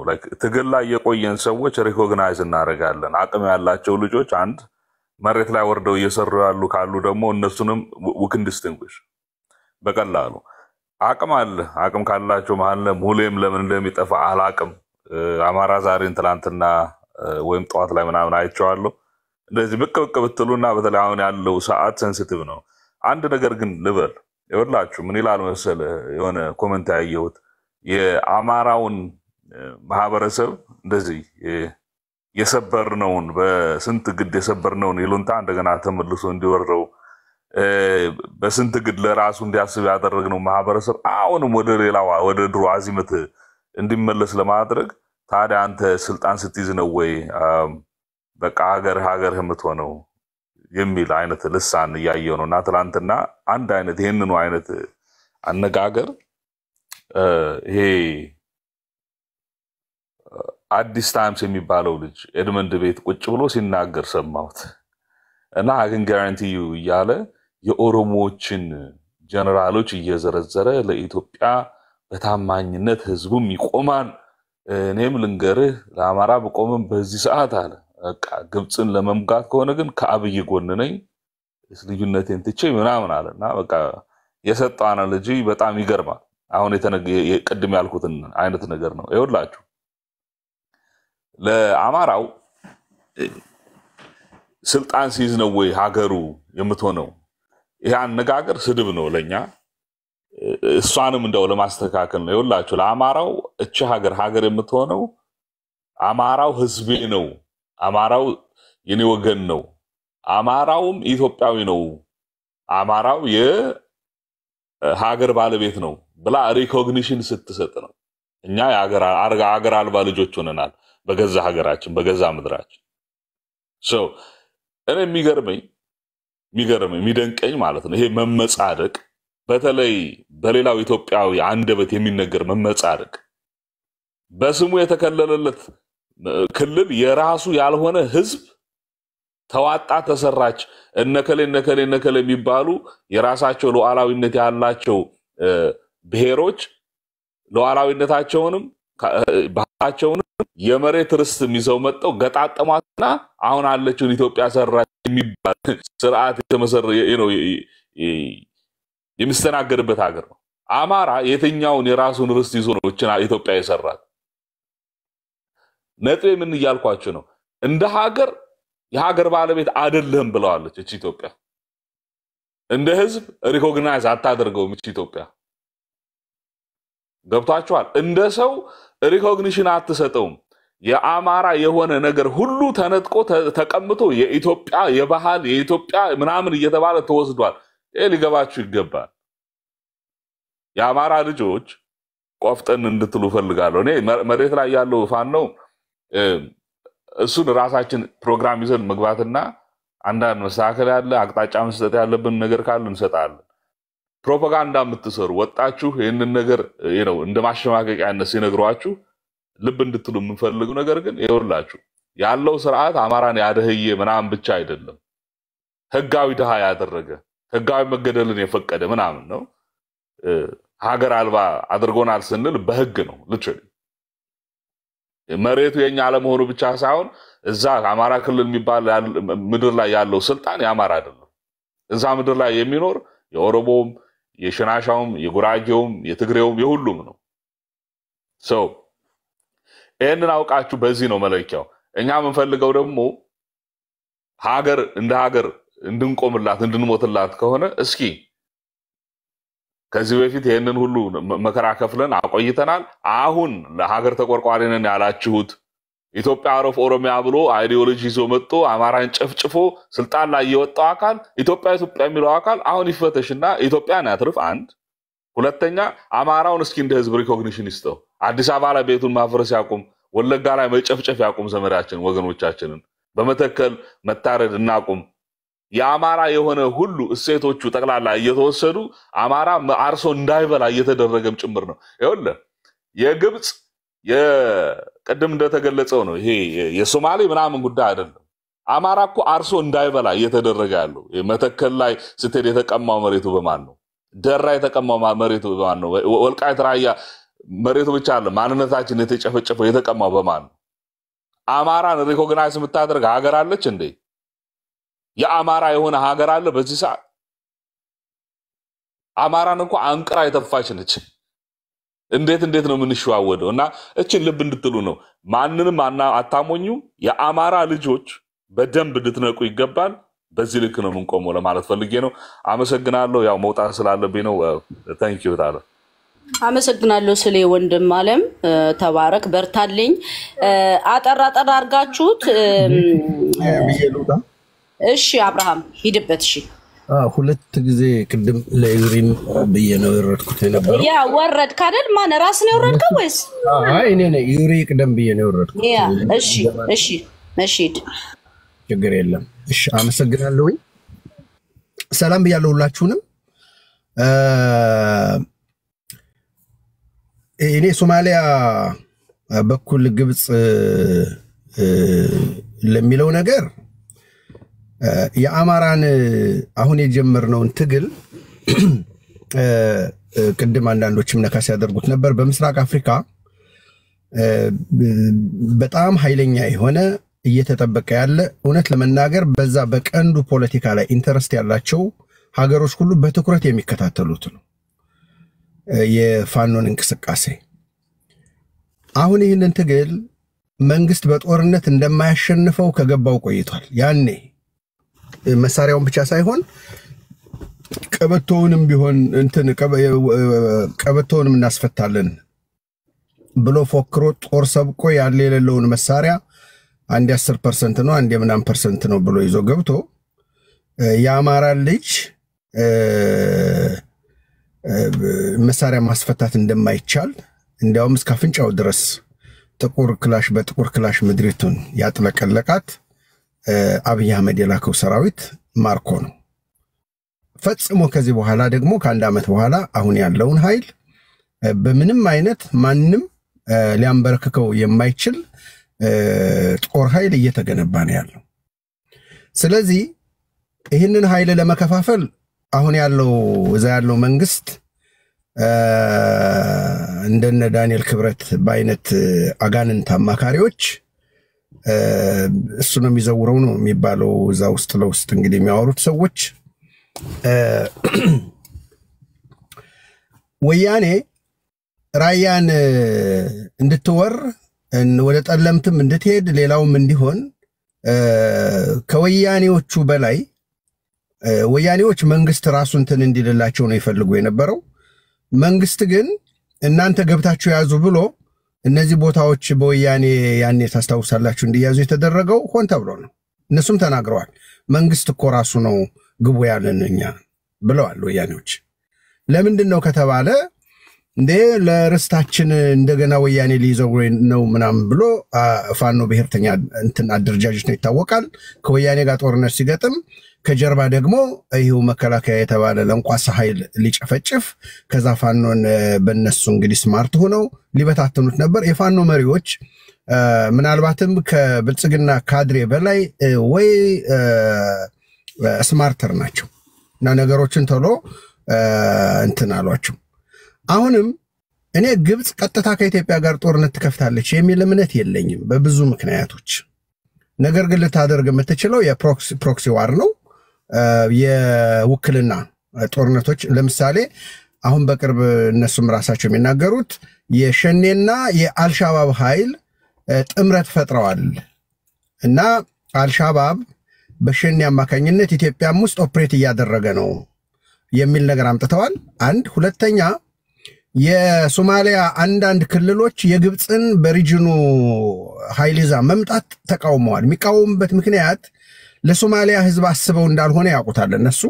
ምክንያቱም የሶማሊያ ሕዝብ ሲበተን፣ ሲራብ፣ ሲፈናቀል ምን ሲል እንዲያውም እነሱ ጥቁር ራሱ ብለው ሌላውን እንኳን ሙስሊም እንደ ሙስሊም የማያከብሩ እ፣ ከመካከለኛው ምስራቅ እስከ ሀገራቸው ድረስ አፍሪካውያንን የሚንቁና የሚጠሉ በጣም በጣም ኋላ ቀር አስተሳሰብ እንዳላቸው ይታወቃል፣ ግብጾቹ ማለት ነው። ወደ ሱዳን ማነው ሶማሊያ ሲሄዱ ለሶማሊያ ህዝብ አስበው እንዳልሆነ ስለገባቸው አንድ ሁለተኛ ኢትዮጵያን provoke ማድረግ ወይም ደግሞ መተናኮስ ዓላማ ያለው እንደሆነም ስለሚያውቁት ሶስተኛ አሁን የግብፅ በሶማሊያ መግባት የበለጠ አልሻባብንና ሌሎችንም ኃይሎች አንቀሳቅሶ አሁን ካለው አንጻራዊ የሆነ ምናልባት አንድ ሶማሊያ የሚመስል ነገር እንዲሁ በእንትኑ ደረጃ ወደ በለጠ ሌላ ችግርና ትርምስ ይከተዋል ብለው ስላሰቡ አንዳንድ ክልል እንትኖች ተቃውመዋል። ግብፅ ደግሞ አልሻባብ ይሁን አይሲስ ይሁን ምን ይሁን ምናልባትም ከነ አሜሪካ አልሻባብን በሽብርተኝነት ከፈረጁ ሀገራት ጋር እንዳትጋጭ ካልሆነ በስተቀር ኢትዮጵያን ያጠቃል ብላ የምታስበውን የትኛውንም ነገር ከመርዳት ወደኋላ አትልም። ለዚህ ነው የኦነጋውያንም እነሱ ጋር ሄደው የሚሸጎጡ የነበረው። ወያኔም በግብፅ ላይ እንዲያውም እንደ አፄ ዮሐንስ እንደ ጉንደትና እንደ ምናምን በፋና በምናምን አንድ ጊዜ አንድ documentary ሰርተው ነበረ። በወያኔ ጊዜ በግድቡ ምክንያት ግብፅ ጦር ልትንትልትል ነው፣ ሱዳን ላይ ልታሰፍር ነው ምናምን ተብሎ እንዳሁኑ ግርግር ተፈጥሮ ነበር በወያኔ ጊዜ። ያን ጊዜ አንድ documentary ሰርተው ነበር በነ ፋና እና በሌሎችም እንትኖች ቅስቀሳ ሲካሄድ ነበር። ግብፅ ብትመጣ በአፄ ዮሐንስ ጊዜ መታለች፣ በዚህ ጊዜ መታለች፣ ሁለት ጊዜ ተደቁሳለች፣ አሁንም ጀግናው የኢትዮጵያ ሕዝብ ይደቁሳታል ምናምን የሚል ማለት ነው። እና እንደዛ ሲሉ የነበሩት አሁን ወያኔዎቹ ሄደው በግብፅ ጉያ ብብት ስር ነው የተወሸቁት ማለት ነው። ኢትዮጵያን እንትን ያሉ ሲመስላቸው አሁንም ያለው በኦሮሞ የበላይነት የሚመራው የብልጽግና መንግስት ያንን አይነት አካሄድ ነው የሚከተለው ነው። ምንድን ነው አንደኛ በግብፅ እንትን ብሎ ይሄ ናሽናሊዝምን ትዝ ይለኛል እዚህ እኔ የምኖርበት ሀገር ይኖራል እና በትውልድ የኔው አካባቢ ሰው ነው። በብሮድካስት ባለስልጣን ውስጥ አንድ ትልቅ ቦታ ላይ ይሰራ ነበረ። ወያኔ እንደገባ ከኢትዮጵያ ቴሌቪዥንና አንዳንድ አርካይቮች እነዚህ የብሔራዊ ስሜት እንትን የሚሉ ፉከራ፣ ቀረርቶ፣ ይሄ ጀግንነትን እንትን የሚሉ ዘፈኖችን በሙሉ ወደ እንትን እንዲወጡ እንዲ አስደርጎ ነበረ። በኢትዮጵያ ቴሌቪዥን እንዳይተላለፉ ለምን ሲባል የአማራ ናቸው ብሎ ማለት ነው። ያን ጊዜ እንደዛ ሲባል የኦህዴድ የተባለው የወያኔ ተላላኪ የነበረው ድርጅት በዋናነት ተባባሪ ሆኖ በአማራ ስም የተደረደረው የብአዴን አደረጃጀትም በዛ ተባብረው አማራዊ ነው ኢትዮጵያ ነክ የሆነውን ነገር በሙሉ አማራዊ ነው በማለት ደብቀውት ነበረ። በኋላ ሻዕቢያ ታንክና መድፉን እየወዘወዘ መጥቶ እነ ባድመን ምናምን ሲቆጣጠር ይሄ አሁን የምላችሁ ሰው ያን የዛ ስልጣን ላይ የነበረ ሰው በቀጥታ ምንድን ነው እንዲደረግ የተደረገው? እነዛ የአማራ ናቸው የተባሉ የኢትዮጵያን ብሔራዊ ስሜት የሚቀሰቅሱ ጀግንነትን የሚያወድሱ ምን የሚሉ ዘፈኖች፣ ቀረርቶች፣ ዋሽንቶች፣ ምኖች ከተደበቁበት ወጥተው በኢትዮጵያ ቴሌቪዥን እንትን እንዲሉ ተደረገ ለቅስቀሳ። አይሆፕ እናንተም ታስታውሳላችሁ ማለት ነው 1991 የነበረውን 1990 በኢትዮጵያ አቆጣጠር 91 የኢትዮ ኤርትራ ጦርነት ጊዜ ማለት ነው። ከዛ በኋላ ምን ተባለ? ጀግናው አገርህን የማታስደፍረው በጀግን የምትታወቀው ምናምን አማራ ባንዲራ ብሔራዊ ስሜት ምናምን ምናምን ተባለ። በዛ ተነሳስቶ ህዝባችን ወደ ሰሜን ሄዶ እንዳለ እምሽክ ብሎ ያለቀው የአማራ ወጣት ነው። የትግራይ ተወላጆች በተወሰነ ደረጃ አመራሩ ላይ ምናምን ምናምን ነው እንጂ በአማራ ልክ የተፈጀ የለም። ከዛ በኋላ ይሄ ደቡቡ ኦሮሞ ምኑ አብሮ አ፣ ሞቷል። የአማራን ያክል ግን የሞተ የለም። አገርህ ምናምን ተደፈረ ተብሎ ማለት ነው በባድመ ጦርነት ጊዜ። ስለዚህ አሁንም እንደዛ አይነት ካርዶችን ለመጫወት ግብፅ እንትን ብላብህ በግብፅ በኩል መጣ እንትን ብላ ምናምን ምናምን ምናምን ምናምን የሚለው እኛ የአማራ ትግል ወይም የአማራ ብሔርተኝነት ትግል የፋኖ ትግል የኢትዮጵያ ጠላት አይደለም። የፋኖ ትግል የብሔር ብሔረሰብ ጠላት አይደለም። ፋኖ የአማራን ሕዝብ ነፃነት ለማስከበር በተዋረደባት ኢትዮጵያ ሰማይ ስር አንገቱ ቀና ብሎ የሚሄድ አማራ ትውልድ ለመፍጠር ነው የፋኖ ትግል። ከዛ ውጭ ኢትዮጵያ ተደፈረች፣ ተነካች ምናምን ካሉ ይዋጉ፣ ምንም ችግር የለውም። ፋኖ ግን የራሱን ህልውና ለማስጠበቅ ይዋጋል። ይሄ አሁን ያለው ስርዓተ መንግስት መፈራረስ አለበት፣ መገልበጥ አለበት፣ መውደቅ አለበት፣ መሄድ አለበት። ፋኖ power መያዝ አለበት። ከዛ በኋላ ላለው ነገር ቁጭ ብሎ መነጋገር ነው ነው yeah የፋኖ ግብ ነው እንጂ የኢትዮጵያም ጠላት አይደል፣ የብሔር ብሔረሰብ ጠላት አይደል። አሁን ግን የተለያየ ምክንያቶችን እያመጡ የፋኖን ትግል ለመሸርሸር ወይም የአማራን ነገ ተነገ ወዲያ ሁላችንም አማሮች ነን ብለው ነው የሚመጡት። አትጠራጠሩ። ምክንያቱም ነፍጠኛ ሰባት ስም ነው የሰጡት። ወያኔ አራት አውጥታለታለች። እነሱ ሶስት ስም አውጥተውለታል። ኒክኔም የአማራ መግደያና ማሸማቀቂያ ማለት ነው። በሰባት ተለዋጭ ስም እየጠሩ እንደፈለጉ ሲያደርጉት የነበረውን አማራ አማራ ነኝ ማለት እኮ በኢትዮጵያ ውስጥ እንደ ወንጀል እስኪቆጠር ድረስ ትውልዱ አማራ ነኝ እንኳን እንዳይል እስኪሸማቀቅ ድረስ እኮ ተሰርቷል። ነገ ተነገ ወዲያ ግን የሆነ አንድ ነገር ሲመጣባቸው እኛ ሁላችን አማራ ነን እንደሚሉ አትጠራጠሩ። ጀዋርም ምን አማራ ነኝ ብሎ ነው የሚመጣው ሁሉም። እና እኛ ትኩረት ማድረግ ያለብን resource ኣችንን አሁን ይሄ አማራው ችግሩ ምንድን ነው? የኢኮኖሚ አቅሙን በተለይ social media ላይ ያለው አማራ መንቃት አለበት። የት ጋ ገንዘቡን መስጠት እንዳለበት እንደሌለበት፣ ትኩረት ማድረግ ያለበት የት ጋ ነው፣ ትኩረት ማድረግ የሌለበት የት ጋ ነው። እዚህ ጋር resource ኣችንን ዝም ብለን ማባከን የለብንም። የገንዘብ አቅማችንን economical እንትናችንን ወደ ራሳችን ትግል ማዞር መቻል አለብን ሁሉም እየመጣ እጁን እንትን ባለ ባንከረፈፈ ቁጥር የራሳችንን እንትን እያሟጠጥን መጠቀም የለብን። ፋኖ ብዙ ነገር ይፈልጋል፣ በጣም ብዙ ነገር። እሱን ቶሎ ብለን ተረባርበን ወደ ድል የምናበቃበት መንገድ ላይ ብቻ ነው ማተኮር አለብን ብዬ ማስበው። ገንዘባችሁን keep አድርጉ፣ save አድርጉ። በታኝ መሆን የለብንም እኛ አሁን ችግራችን እሱ ነው። ድሮ እንትና እንትና አለ ወደቅ አስነጠሰው ምናም በተባለ ቁጥር በትነን አንችለውም። ስለዚህ ሪሶርሳችንን ወደ ራሳችን ትግል እናዙር። እኔ በጣም የአማራ ችግር ይሄ ነው። አመሰግናለሁ። እሺ አብርሽ፣ እኔም አመሰግናለሁ። ግን እኔ አንድ ያ ትሄድበታለህ። እኔ አብርሽ ግን አንድ ነገር አሁን ለተናገርከው አንድ ነገር ማለት የምፈልገው የድሮው አይነት ነገር ዛሬ በግብፅና በኢትዮጵያ ዙሪያ ያለው ነገር የድሮ አይነት ነገር አለ ብለህ ታስባለህ?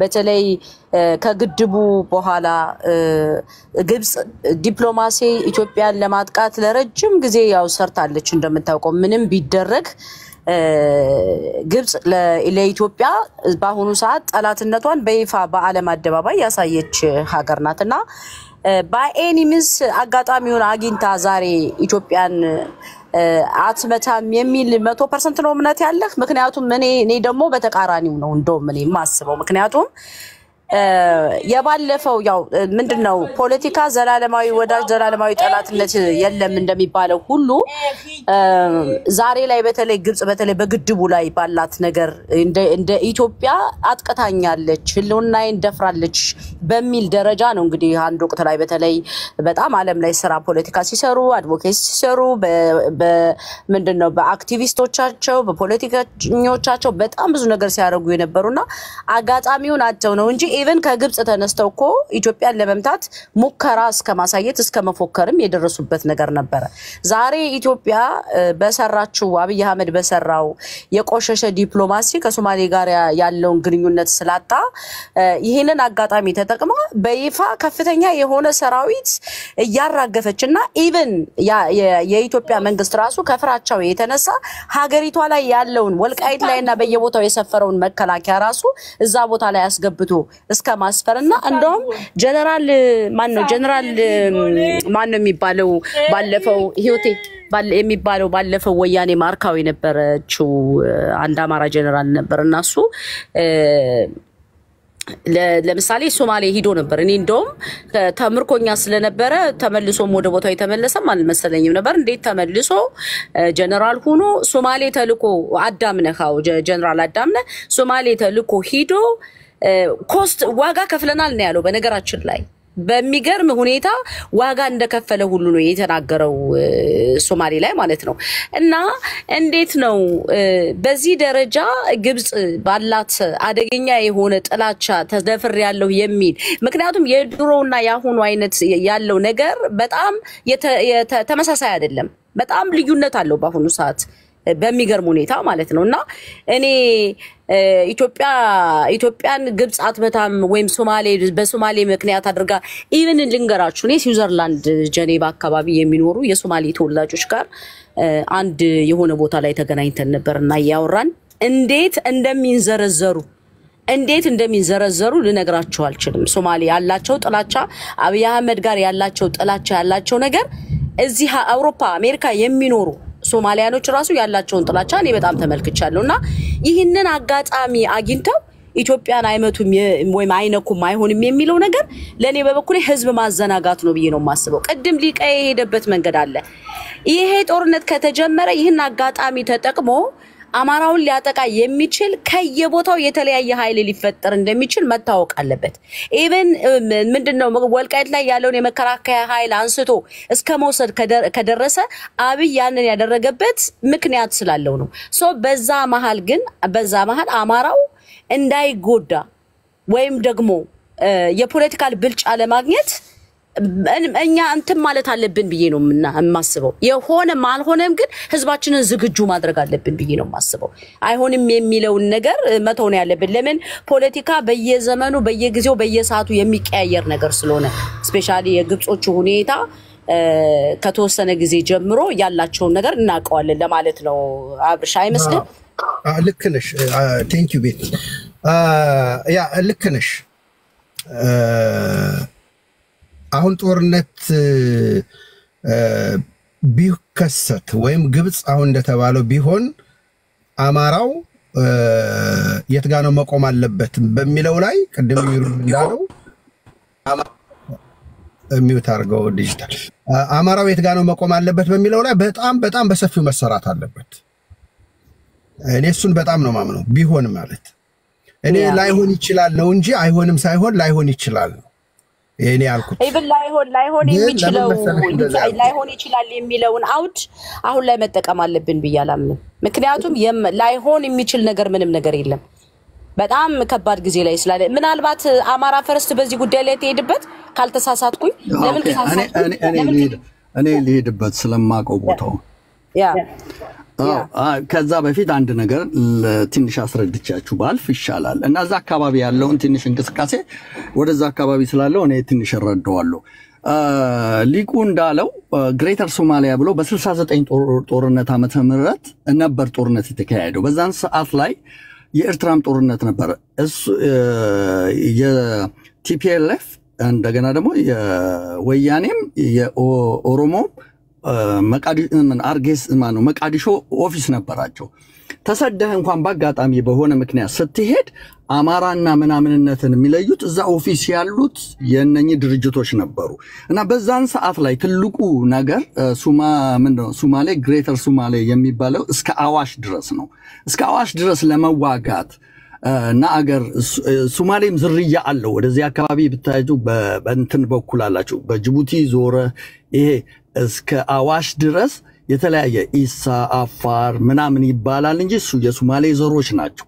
እስከዛ ያንን ነው ማፕ አድርገው ከአዋሽ በታች የኛ ነው ብለው የተነሱት በ69 ጦርነት ጊዜ ልክ የደርግ ጦር በነበረ ጊዜ የደርግ ጦር ኤርትራ በሙሉ አዝምቶ ፈጥኖ ደራሽ ነበር የቀረው። የዛን ጊዜ ማንም የለም ነበር። አባት ጡረታ ፖሊስ ምናምን ነበር የቀረው እና በዛን ሰዓት ላይ ጦርነት የታጠቁት መሳሪያ አሜሪካ ነበር የምትረዳቸው። የዘመናዊ መሳሪያ ምናምን እዛ ኢትዮጵያዊ ካለው መሳሪያ ምንም አይነት እንደሱ አይነት መከላከያ ታንክ ምናምን የሌለው ነበረ እስከ ኡጋዴን እና የሮጡ ነበር የመጡት ከኡጋዴን አይ፣ ከ- ማለትም ከሐረር እስከ ኡጋዴን አንድ ሺህ ኪሎ ሜትር ነው ርቀቱ።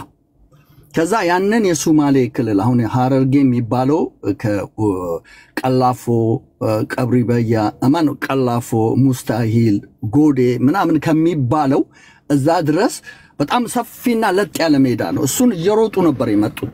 ምንድነው መጨረሻ ላይ ምንድነው ደርግ ያደረገው? በጣም ግራ ተጋብቶ ጦር በበቂ ጦር ስላልነበረው ከጎጃም፣ ከጎንደር፣ ከሸዋ፣ ከወ- ከወሎ ይህን የአማራ ሚኒሻ እያለ በገፍ ነው ያሰለጠነው። ምንድን ነው ግራ ስለገባው በዛው ሁሉ ውጊያ ውስጥ የአማራ ልጅ እንደ አጥር እንደ ማገር ነው የተማገደው። ይህ የአማራ ገበሬ እንደ ማገር ነው። ኡጋዴን በረሃ ውስጥ ብትሄጁ ይሄ የአማራ አጥንት በየቦታው አለልሽ። ትልቅ መስዋዕትነት እንዲያውም በዛን ዘመን በደንብ ታሪኩን ስለማቀው እስከ ሐረር ድረስ መጡና የሚን የጎጃም የጎንደር የወሎ የሸዋ ሚኒሻዎች ከዚህ ወደ ሀገራችን አይደለም አንሄድም አሉት መንጌን ምንድነው ያደረገው? ጥላሁን ገሰሰን አስመጥቶ አገር ተደፈረ የሚል ዘፈን ዘፍኖ ከዛ ወኔ ቀስቅሶ ነው እስከ ኡጋዴን በጣም ርቀት አለው። እዛ ሁሉ ውስጥ የተዋጋው የአማራ ገበሬ ነው። ይሄንም ማወቅ አለባችሁ። ደርግ አልተዘጋጀም ነበር። ጦሩ በኤርትራ ነበረ የዛን ሰዓት ላይ። ፈጥኖ ደራሽና አባት ጦር ወር ፖሊስ ነበር።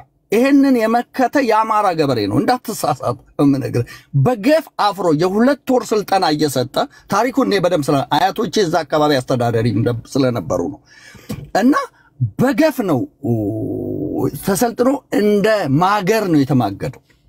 ይሄንን።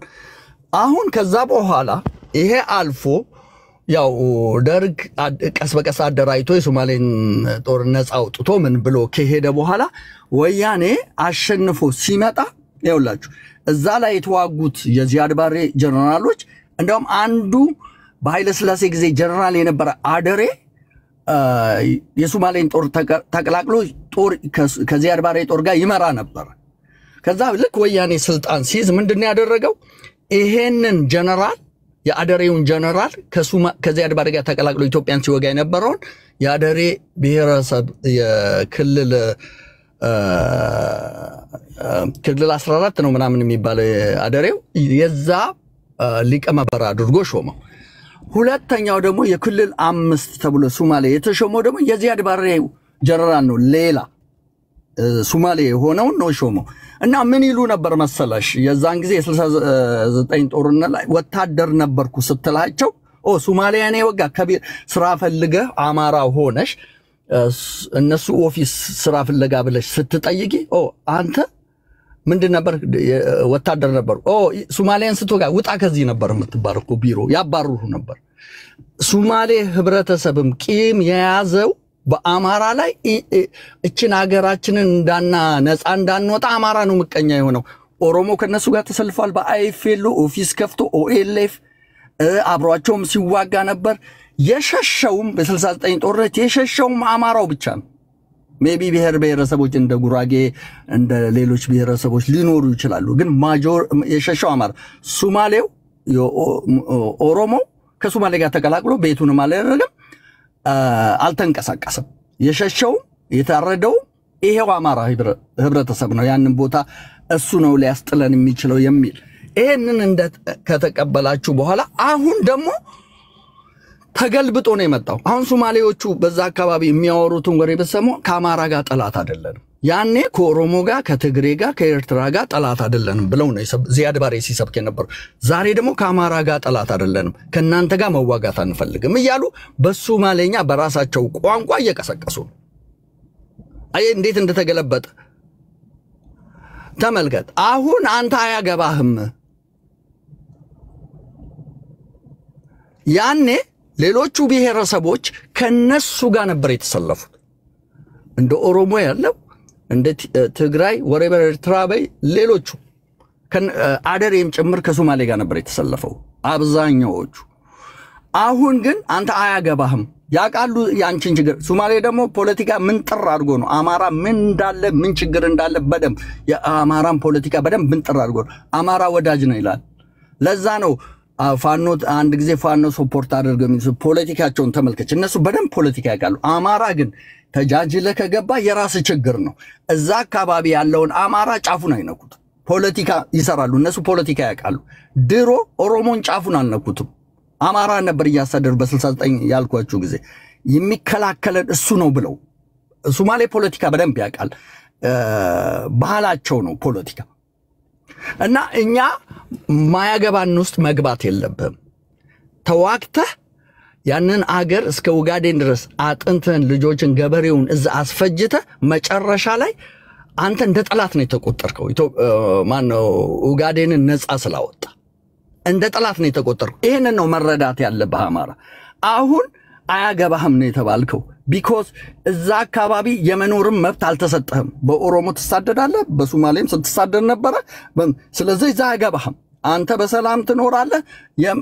በሰላም መኖር ከፈለግ መሸሽ ነው እንጂ እዛ ውስጥ ምንም አይነት involve ማድረግ የለብህም። ይሄንን ነው እነሱ የሚያስረዱ። እነሱ ፕላናቸው አሁን አብይ ግራ የገባው ነገር ከዚህ ጋርና ከዛ ጋር ተንኩሶ እነ ሶማሌዎች ደግሞ like በዛ አካባቢ ካለው ኦሮሞ ተዋጊ ናቸው። ሶማሌዎች ተዋጊ ናቸው። ከእነሱ የሚፈሩት ውጊያ ላይ አማራን ብቻ ነው። አፋቸውን አውጥተው ነው የሚናገሩት። አማራ የሌለበት ጦርነት ምንም ችግር የለም ነው የሚሉት። በትክክል ነው የሚነግሩ። እነሱ በደንብ ያውቃሉ ማን መዋጋት እንደሚችል ማን መዋጋት እንደማይችል። አሁን ኦሮ- ኦሮሞዎቹ እ፣ በዛ አካባቢ ያሉ በጣም ነው የደነገጡት። በጣም ነው ከሚገባ በላይ አማራ ያልተሳተፈበት በማግስቱ ሸዋን ሩጅ ሮጡ እንደሚመጡ ያውቃሉ።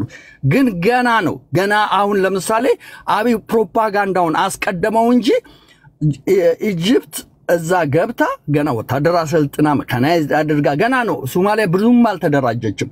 አሁን ቀድሞ ፕሮፓጋንዳውን የሚቀሰቅሱት አማራው አገሬ ብሎ እንዲዘምትላቸው ወደ እነሱ መሄድ። አንድ- ጊዜ ትዝ ይላችኋል በባድሜ ጦርነት ጊዜ አስረዘምኩባችሁ። በባድሜ ጦርነት ጊዜ አማራን ሲሰድቡ ሚኒሊክን ምናምን ሲሰድቡ ነበር። ልክ ኤርትራ ተነስቶ ጦርነት ሲያደርግ የሚኒሊክ ሀገር ተደፈረ አለ። ሚኒሊክን ሲያሰድቡና ሲሰድቡ የነበሩ TPLF ኦች እንደዚህ ነው። ሁል ጊዜ game ነው የሚጫወቱት በአማራ ያንተን መስዋዕትነት ይፈልጋሉ። ሁልጊዜ በአንተ ገልብጠው ነው የሚያወሩ መጠቀም ያደርጓል። ግን የባድሜ ጦርነት ካለቀ በኋላ አደገኛ ቦዘኔ ብሎ ሲያሳድድ ነበር። ከዛ በኋላ አንተ ለሀገሬ መስዋዕትነት ከፍያለሁ ብዬ ጥያቄ እንዳታመጣ ከዛ በኋላ ወዲያው አደገኛ ቦዘኔ ነው የተባልከው። ይሄንን ይሄንን ራሱ ተሳትፈ ብታሸንፍለት የሚቀጥለው አንተ መግደል ነው የሚጀምረው። አብይ የታወቀ ነው። ትናንትና የሚያደርገው ነው። ከቲፒኤልኤፍ ጋር ሲዋጋ አግዘኸው support አርገኸው እሱ ነፃ እንዲወጣና መንግስቱን እንትኑን ካረጋገጠ በኋላ ከዛ ጥቁር ክላሽ ብሎ ነው የመጣው በማግስቱ። እንዲያውም drug dealer ሁሉ drug ስታሻገር international ውንጀላ ውስጥ ነው ፋኖ ነው የገባው። ስለዚህ አንዴ ትሳሳታል፣ ሁለቴ ትሳሳታለህ። ግን ከሶስት ከአራት በላይ ግን መሳሳት የለብም። አማራ ከዚህ በላይ ለራስ ነው እየተጨፈጨፍክ ነው፣ ለራስ ነው መታገል ያለብህ። እዛ አካባቢ ያለው አማራ ማንም አይነካውም። እነግርሃለሁ ራሱ መንግስት ካልመታው ሱማሌ አይነካውም። ሱማሌ ብልጥ ነው፣ ፖለቲካ ላይ በደንብ ጠንቃቃ ነው። አማራ ሀገሩ ወደ ሰሜን ነው እና እዚህ ጋር ምንም involve አያደርግም። እንዳትነኩ የሚል መመሪያ እየቀሰቀሱም ነው እየቀሰ አማራ እንዳትነኩ አማራ ወንድማችን ነው እያሉ በሱማሌኛ ይቀሰቅሳሉ። እንደዚህ ነው የምለው። እናንተ ግን ወደ ከገባ ቢረግጧት አይክፋ ነው። አመሰግናለሁ። በጣም ነው የማመሰግነው። አማራ ፈርስት ማለት ወርቅ አማራ ልጆች ያላችሁ አማራ ወርቅ አማራ ልጆች ያላችሁ አማራ እያዳመጠ ማድረግ ያለበትን ማወቅ አለበት። በግሌ በቃ ዘመኑ ነቄዎች ነን። ነቄ ትውልድ ተፈጥሯል። ስለመጣችሁ ሁላችሁን በጣም ነው የማመሰግናችሁ እና የፈራ ይመለስ እድሉን ልስጥህ። ከዛ ዲጂታል ፋኖ ከዛ ዘመነ ትሄድና ሂድ የፈራ ይመለስ። አይ ቤቲ ከነ ዩሪ ሊቀማ አሁን ደግሞ አማራ ፈርስት ከተናገሩ በኋላ እንዳለ እኔ ልናገር ያሰብኩት ነገሮች በሙሉ እነሱ ሄደውበታል። ከእነሱ የተሻለ እኔ ለመሄድ አልችልም፣ በጣም ይከብደኛል። ሌሎች ይናገሩ። እሺ ዲጂታል ፋኖ ሂድበት። እሺ yeah ሰላም ብያለሁ ቤቲ፣ ሁላችሁም ጥሩ ሀሳብ ነው by the way እየሰማ ያለሁት። ሰሞኑንም እኔ የኦሮሞ ልጆች ቤት እየገባሁ ተመሳሳይ ሀሳብ ነው ስናገር የነበረውና አማራ በዚህ ጦርነት መሳተፍ የለበትም። ይሄ seriously የምንናገረው ነው by the way ወይ ዝም ብሎ ለማስመሰል ለብሽሽቅ ምናምን አይደለም። የኦሮሞ ልጆች ባንዳነት ነው ምናምን እያሉ ነው። ይህ ባንዳነት አይደለም። የማንሳተፍበት ምክንያት አለን። አንደኛ ነገር መሬቱ የኛ አይደለም። የኢትዮጵያ መሬት ቢሆንም የአማራ መሬት አይደለም። በህገ መንግስት የሚታወቀው ያ መሬት የኦሮሞ ነው፣ ያ መሬት የሶማሌ ነው። so ለረጅም ዓመታት ይህ ህገ መንግስት አገር እያፈረሰ ነው፣ ይቀየር፣ የሁላችንም የሆነ መሬቱ ስንል እንደዚህ አይነት የውጭ ጠላት ሲመጣ እኩል አብረን መስዋዕትነት እንድንከፍልበት እንዲሆን ነበረ። አልሆነም። ስለዚህ በሰላሙ ጊዜ ነፍጠኛ ወራሪ የሚኒሊክ ሰፋሪ እያለ ሲጨፈጭፍ ኑሮ ዛሬ የውጭ ጠላት ሲመጣ ናና ሙትልኝ ማለት ስህተት ነው ስህተት ነው። አማራ በዚህ ጦርነት መሳተፍ የለበትም። ሂደህ የምትሳተፍም ከሆነ ደመከልብ ነው የምትሆነው። የምትወድቅበት መሬት ያንተ መሬት አይደለም። የኦሮሞን ብልጽግና ገዛ ሂደህ መሞት ለኢትዮጵያ መሞት አይደለም፣ ለኦሮሞ ነው የምትሞተው። ሰው ለሱዳንም ሂደህ ብትሞት ተመሳሳይ ነገር ነው የሚሆነው። እንደዛ አስቡት guys። ኢትዮጵያ አሁን በተግባር የለችም፣ ስሟ ብቻ ነው ያለው እንጂ መሬቱ ተከፋፍሎ አልቋል። ለዛም ነው ሸዋን ወረዳ አዲስ አበባ እኮ ዛሬ በሰላም ወጥቶ መመለስ እኮ አይቻልም። እያገቱ እንዲህ የሚጫወቱበት እኮ መሬቱ ያንተ ስላልሆነ ነው። መንግስትም ይህን አምኖ ስለሚያስተገብር ነው እና አብይ አህመድ ደንታቸው ያልሆነው እና ይህ በሆነበት ሁኔታ ሂዶ የሚሞትበት ምንም ምክንያት የለም። ሌላውና ሁለተኛው የማንዋጋበት ምክንያት ኢብን እንኳን አግዘን ሂደን ብንዋጋ ሶማሌን ከመለስን በኋላ ግብፅን ከመለስን በኋላ እና አብይ አህመድ በጥላቻ ፈሙዛቸውን አማራ ላይ እንደሚያዞሩ ምንም ጥርጥር የለውም። ትንሽ የወታደር ልምድ ይዘዋል ተብሎ በአንድም ሆነ በሌላ ምክንያት ተመልሰው አንተኑ እንደሚያጠቁ ጥርጥር የለውም። ይህን ደግሞ በትግራይ ጦርነት አይተናል። ወያኔ እንደ ህዝብ መጣ፣ እንደ ማህበረሰብ ንቅናቄ ነው የመጡት ተብሎ መከላከያው አልችል ብሎ ተመቶ አማራ ሲመልሰው የራሳችን መሬት ላይ ቢመጡ ምና ምክንያት ቢኖረንም መጨረሻ ላይ ከወያኔ ጋር ሲስማሙ ግን አንተ ጋር ነው የተመለሱት እና አብይ አህመድ ወያኔ active እያለች ፋኖ ጀግና ነው፣ ሀገሩን ይጠብቃል፣ ወልቃይት ጎንደር ነው፣ አማራ ነው ምናምን ሲሉ የነበሩ ሰዎች ወያኔ እንደተመለሰች ግን ጥቁር ክላሽ ወሰዱብኝ፣ እንዲህ አደረጉብኝ፣ መከላከያውን እንደ ጅብ ጎን ለጎን ሄድ ነው ብላችሁ ተናገሩ ተብለው ነው እንደዛ ሲናገሩ የነበሩት። ይሄ በሆነበት ሁኔታ እና አብይ አህመድን አምነን ለነሱ ስልጣን ማስጠበቂያና ለኦሮሞ መሬት እደግመዋለሁ፣ ለኦሮሞ መሬት አሁን ባለው ህገ መንግስት መሰረት የምትሞትበት ምክንያት የለም። አይደለም ዛሬ እኛ ሄደን አርሰን የምንበላውና ሸቅለን የምንበላበት መሬት አይደለም። ድሮ የሄዱት አማራዎች ራሱ መኖር አልቻሉ። ይሄ በሆነበት ሁኔታና ህገ መንግስቱ ሳይቀየር አማራ ሄደህ እንዳትሞት አደራ እላለሁ። የዘጠና ዓመተ ምህረቱ ስህተት ቅድም በተደጋጋሚ እንደተባለው አሁን መደገም የለበትም። ያኔ ሚዲያ ስላልነበረ ተቃዋሚ ፖለቲከኞችም አሽቃባጮች ስለነበሩ ህዝቡን አልነገሩትም። ሻቢያና ትግራይ ሲዋጉ በኢትዮጵያ ስም ሄዶ ባድመ ላይ አማራ መሞት አልነበረበትም። ጓደኞቻችን ከ class እየወጡ ሄደው ነው ስንት genius ተማሪዎች የሞቱት አይደል? እያንዳንዳችን አማራ ነው ያለቀው። ቅድም እንደተባለው አሁን ያን ጦርነት ወያኔ ያነሰዋል? አያነሱትም። ከ17 ዓመቷን ትግል ነው የሚያነሷት every time። ያን እንደ ውለታ ይቆጥሩታል? አይቆጥሩትም። አንድ የማንና ግሽ የሚባል አሁን ቢቢሲ ትግርኛ ላይ የሚሰራ ልጅ እንዳለ ታውቃላችሁ? ስለሱ ጦርነት አማራዎች ሻቢያን ለመበቀል ሁነኛ ሰዓት አገኘን ብለው በገፍ መጠው ነው የሻቢያን ምሽግ የሰበሩት ነው ያለው። thank you እንኳን አይሉንም። አሁንም ኦሮሞ thank you አይለንም። ስለዚህ ያለምንም መሸማቀቅ even አይደለም በዚህ በቲክቶክ ቴሌቪዥን አሁን ነፍስ ያለው የአማራ ቴሌቪዥን ቢኖር በቀጥታ እንኳን ባይሆን በተዘዋዋሪ አማራ በዚህ ጦርነት ለመሳተፍ እንደ ዜጋ ይቸገራል ብሎ ማቅረብ ነበረበት። እንግዶችን ጋብዞ ማነጋገር ነበረበት። ወሳኝ ሰዓት ነው። ሶማሌዎችም ይሄን ማወቅ አለባቸው። ግብጾችም ይሄን ማወቅ አለባቸው። አገራችን መሬቱ በዘር ተከፋፍሎ አንዱ ወደ አንዱ ሂዶ የማይሰራበት ሁኔታ በተፈጠረበት ሁኔታ ለምንድን ነው ህይወትን ያክል ከባድ መስዋዕትነት ሄደን የምንከፍለው? ሰው live stream የሚያደርጉ ሰዎችም ራሱ ዩቲዩበሮች፣ ወዘተ ታዋቂ የቴሌቪዥን ጣቢያዎች እንግዳ እየጋበዙ ማነጋገር አለባቸው። እኔ እርግጠኛ ያልሆንኩት ምን ያክል ነው ሶማሌ ገፍተው ጦርነቱን ይጀምራሉ አይጀምሩም የሚለው ነው እንጂ አማራ በዚህ ጦርነት ላለመሳተፍ በቂ ምክንያት አለው። ይሄ እያንዳንዱ አማራ ተደራሽ ሆኖ ሊነገረው ይገባል። ያ ምስኪን ወታደር እንግዲህ በእጃቸው ስር ስላለ ወስደው ሊያሰልፉት ይችላሉ የአማራ ልጆች። ከዛ ውጭ ግን በወዶ ገብነት በምናምን ሚሊሻውም ቢሆን ይህን መረጃ ማወቅ አለበት። ሀገራቸው አይደለም ሂደው የሚሞቱበት ቦታና ይህን ለማስተላለፍ ነው። thank you ቤቲ።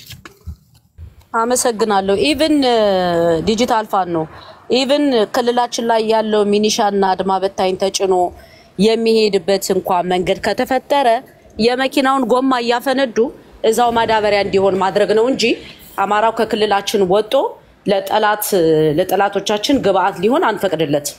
እኔ በዚህ ልክ ነው አማራው ጨካኝ መሆን አለበት ብዬ የማስበው። ሚኒሻና አድማ በታኝን እንኳ ጭኜ ወስዳለሁ ብሎ ካሰበ ማለት ነው ከቅርብ ርቀት ሆኖ በጎማውን እያፈነዱ ማስቀረት ብቻ ነው። በዚህ ልክ ጨከን ያለ ውሳኔ መወሰን የግድ ያስፈልጋል። በጣም ዘመኑ ከባድ ስለሆነ ያ ምናልባት ቤቲ ሶሪ፣ ይሄ ማለት ግን እኛ ግብፅን አግዘን እነሱ እነዋቆ ጉቶ የተባሉ ኦሮሞዎች ኢትዮጵያና አማራው እንደወጉት ኦሮሞ እንወጋለን ማለት አይደለም። በባንዳነት አንሰለፍም። እኛ ያልነው ኦሮሞን አናግዝም ነው። ኦሮሞ የራሴ መሬት ነው ብሏል፣ ራሱ ይጠብቀው። ወይራስ ግን ግብጾች አልፎ የሚመጡ ከሆነ አማራ የሚዋጋበት ቦታና ምክንያት አለው። እሱን እንግዲህ ጊዜው ሲደርስ እንናገራለን። ቁጭ ብለን አናይም። ገፍተው ከመጡ የአማራ የሚለው መሬት ላይ ከገቡ። ከዛ ውጭ ግን እዛ ጠረፍ ላይ መጠን እንደ ድሮ የምንሞትበት ምክንያት የለም። ወይም ግብፅን አግዘን ኦሮሞን አንወጋም። ይሄ ሊሰምርበት ይገባል። thank you። አመሰግናለሁ። ማን ነው በቀጣይ? እሺ የአዳም ዘር ትሄድበት አሁን መጥቼ ከተፈቀደልኝ መናገር እችላለሁ። ቤቱን ላስፈቅድና ታዬ ይቀድመሃል መሰል። ታዬ አለህ እንዴ? በጣም sorry። አስፈቅደዋለሁ። አስፈቅደው። እሺ አይሰማም ያለው ሂድበት። እሺ አዳም እንዴት ነህ? እንዴት ነሽ? የት አለማለሁ። አይ እኔ አንዳንዴ በጣም ምርጥ ምርጥ ልጆች አሉ። ከዚህ በፊት ሲናገር የነበረውም አማራ ፈርስት እጅግ በጣም በሚደንቅ ሁኔታ ነው የገለጸው። ዲጂታል ፋኖም ተናግሮታል። እኔ ደግሞ እዚህ ላይ ማጠናከር የምፈልገው ነገር በተለይ በዚህ በዚህ ጉዳይ ላይ የሚሸወድ ያለ አይመስለኝም። እንደው እነዚህ አለቅላቂዎች አሁንም ባንዳ ሆነው ከእኛ ጋር እየተዋጉ ያሉት ይህንን መከራና ስቃይ በርፍራፊ በዚህ በማይጠቅም ነገር በተራፊ ነገሮች እየተደለሉ የሚያደርጉት ካልሆነ በስተቀር እንደ አጠቃላይ ግን ማየት ያለብን ከመጀመሪያ ጀምረን ነገሮችን ስናያቸው ሁልጊዜ የአማራው ጦርነት የአማራው revolution ትንሽ ሚዛኑ ከበድ በሚልበት ሰዓት ላይ ሆነ ተብሎ አጀንዳዎች ይመጣሉ እና ከዚህ በፊትም አይተናል። በተለይ ከኤርትራ ጋር በነበረ ቀይ ባህርን እናስመልሳለን፣ እሬቻን ቀይ ባህርን እናከብራለን እያሉ እነሱ በሚቀደዱበት ሰዓት አማራውን ከጎን ለማሰለፍ አማራው እኮ አሰብ ያንተ ነው ካልነው እና ባንዲራውን ነፃነቱን ባንዲራውን ከፈቀደለት ከፊት ይሰለፍልናል የሚል አጀንዳ ተነስቶ ነበር እና የዛን ጊዜ ከኤርትራ ወንድሞቻችን ጋር አንድ ላይ ሆነን በተሰራው ስራ ኩምሽሽ ብለው አንገታቸውን ደፍተው የተመለሱበት ሁኔታ አለ እና አሁንም ተመሳሳይ ነው።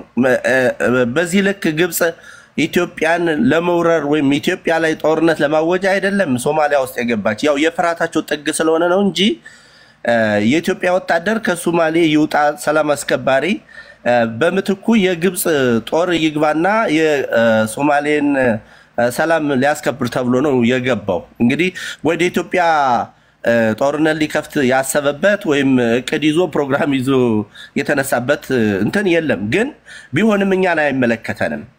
እኛ የራሳችን የቤት ስራ አለብን። አትኖሩም እየተባልን የመኖር ህልውናችንን ለማረጋገጥ በራሳችን ምድርና በሀገራችን ላይ እየታገልን ነው ያለ ነው እንጂ የኦሮሞ ወይም ይሄ በነገራችን ላይ እኮ አልሻባብ የሚባለው እኮ እስከ ባሌ ድረስ እኮ ወስዶታል። የት ነበሩ እስከዛ ድረስ? ዛሬ ግብፅ ስትገባ ነው እንዴ ይሄንን የሚያመጡት? እንዲያውም እኛ ብንችል አረብኛ ቋንቋ የሚናገሩ ልጆች ካላችሁ የአማራ ልጆች ከግብፅ ሚዲያዎች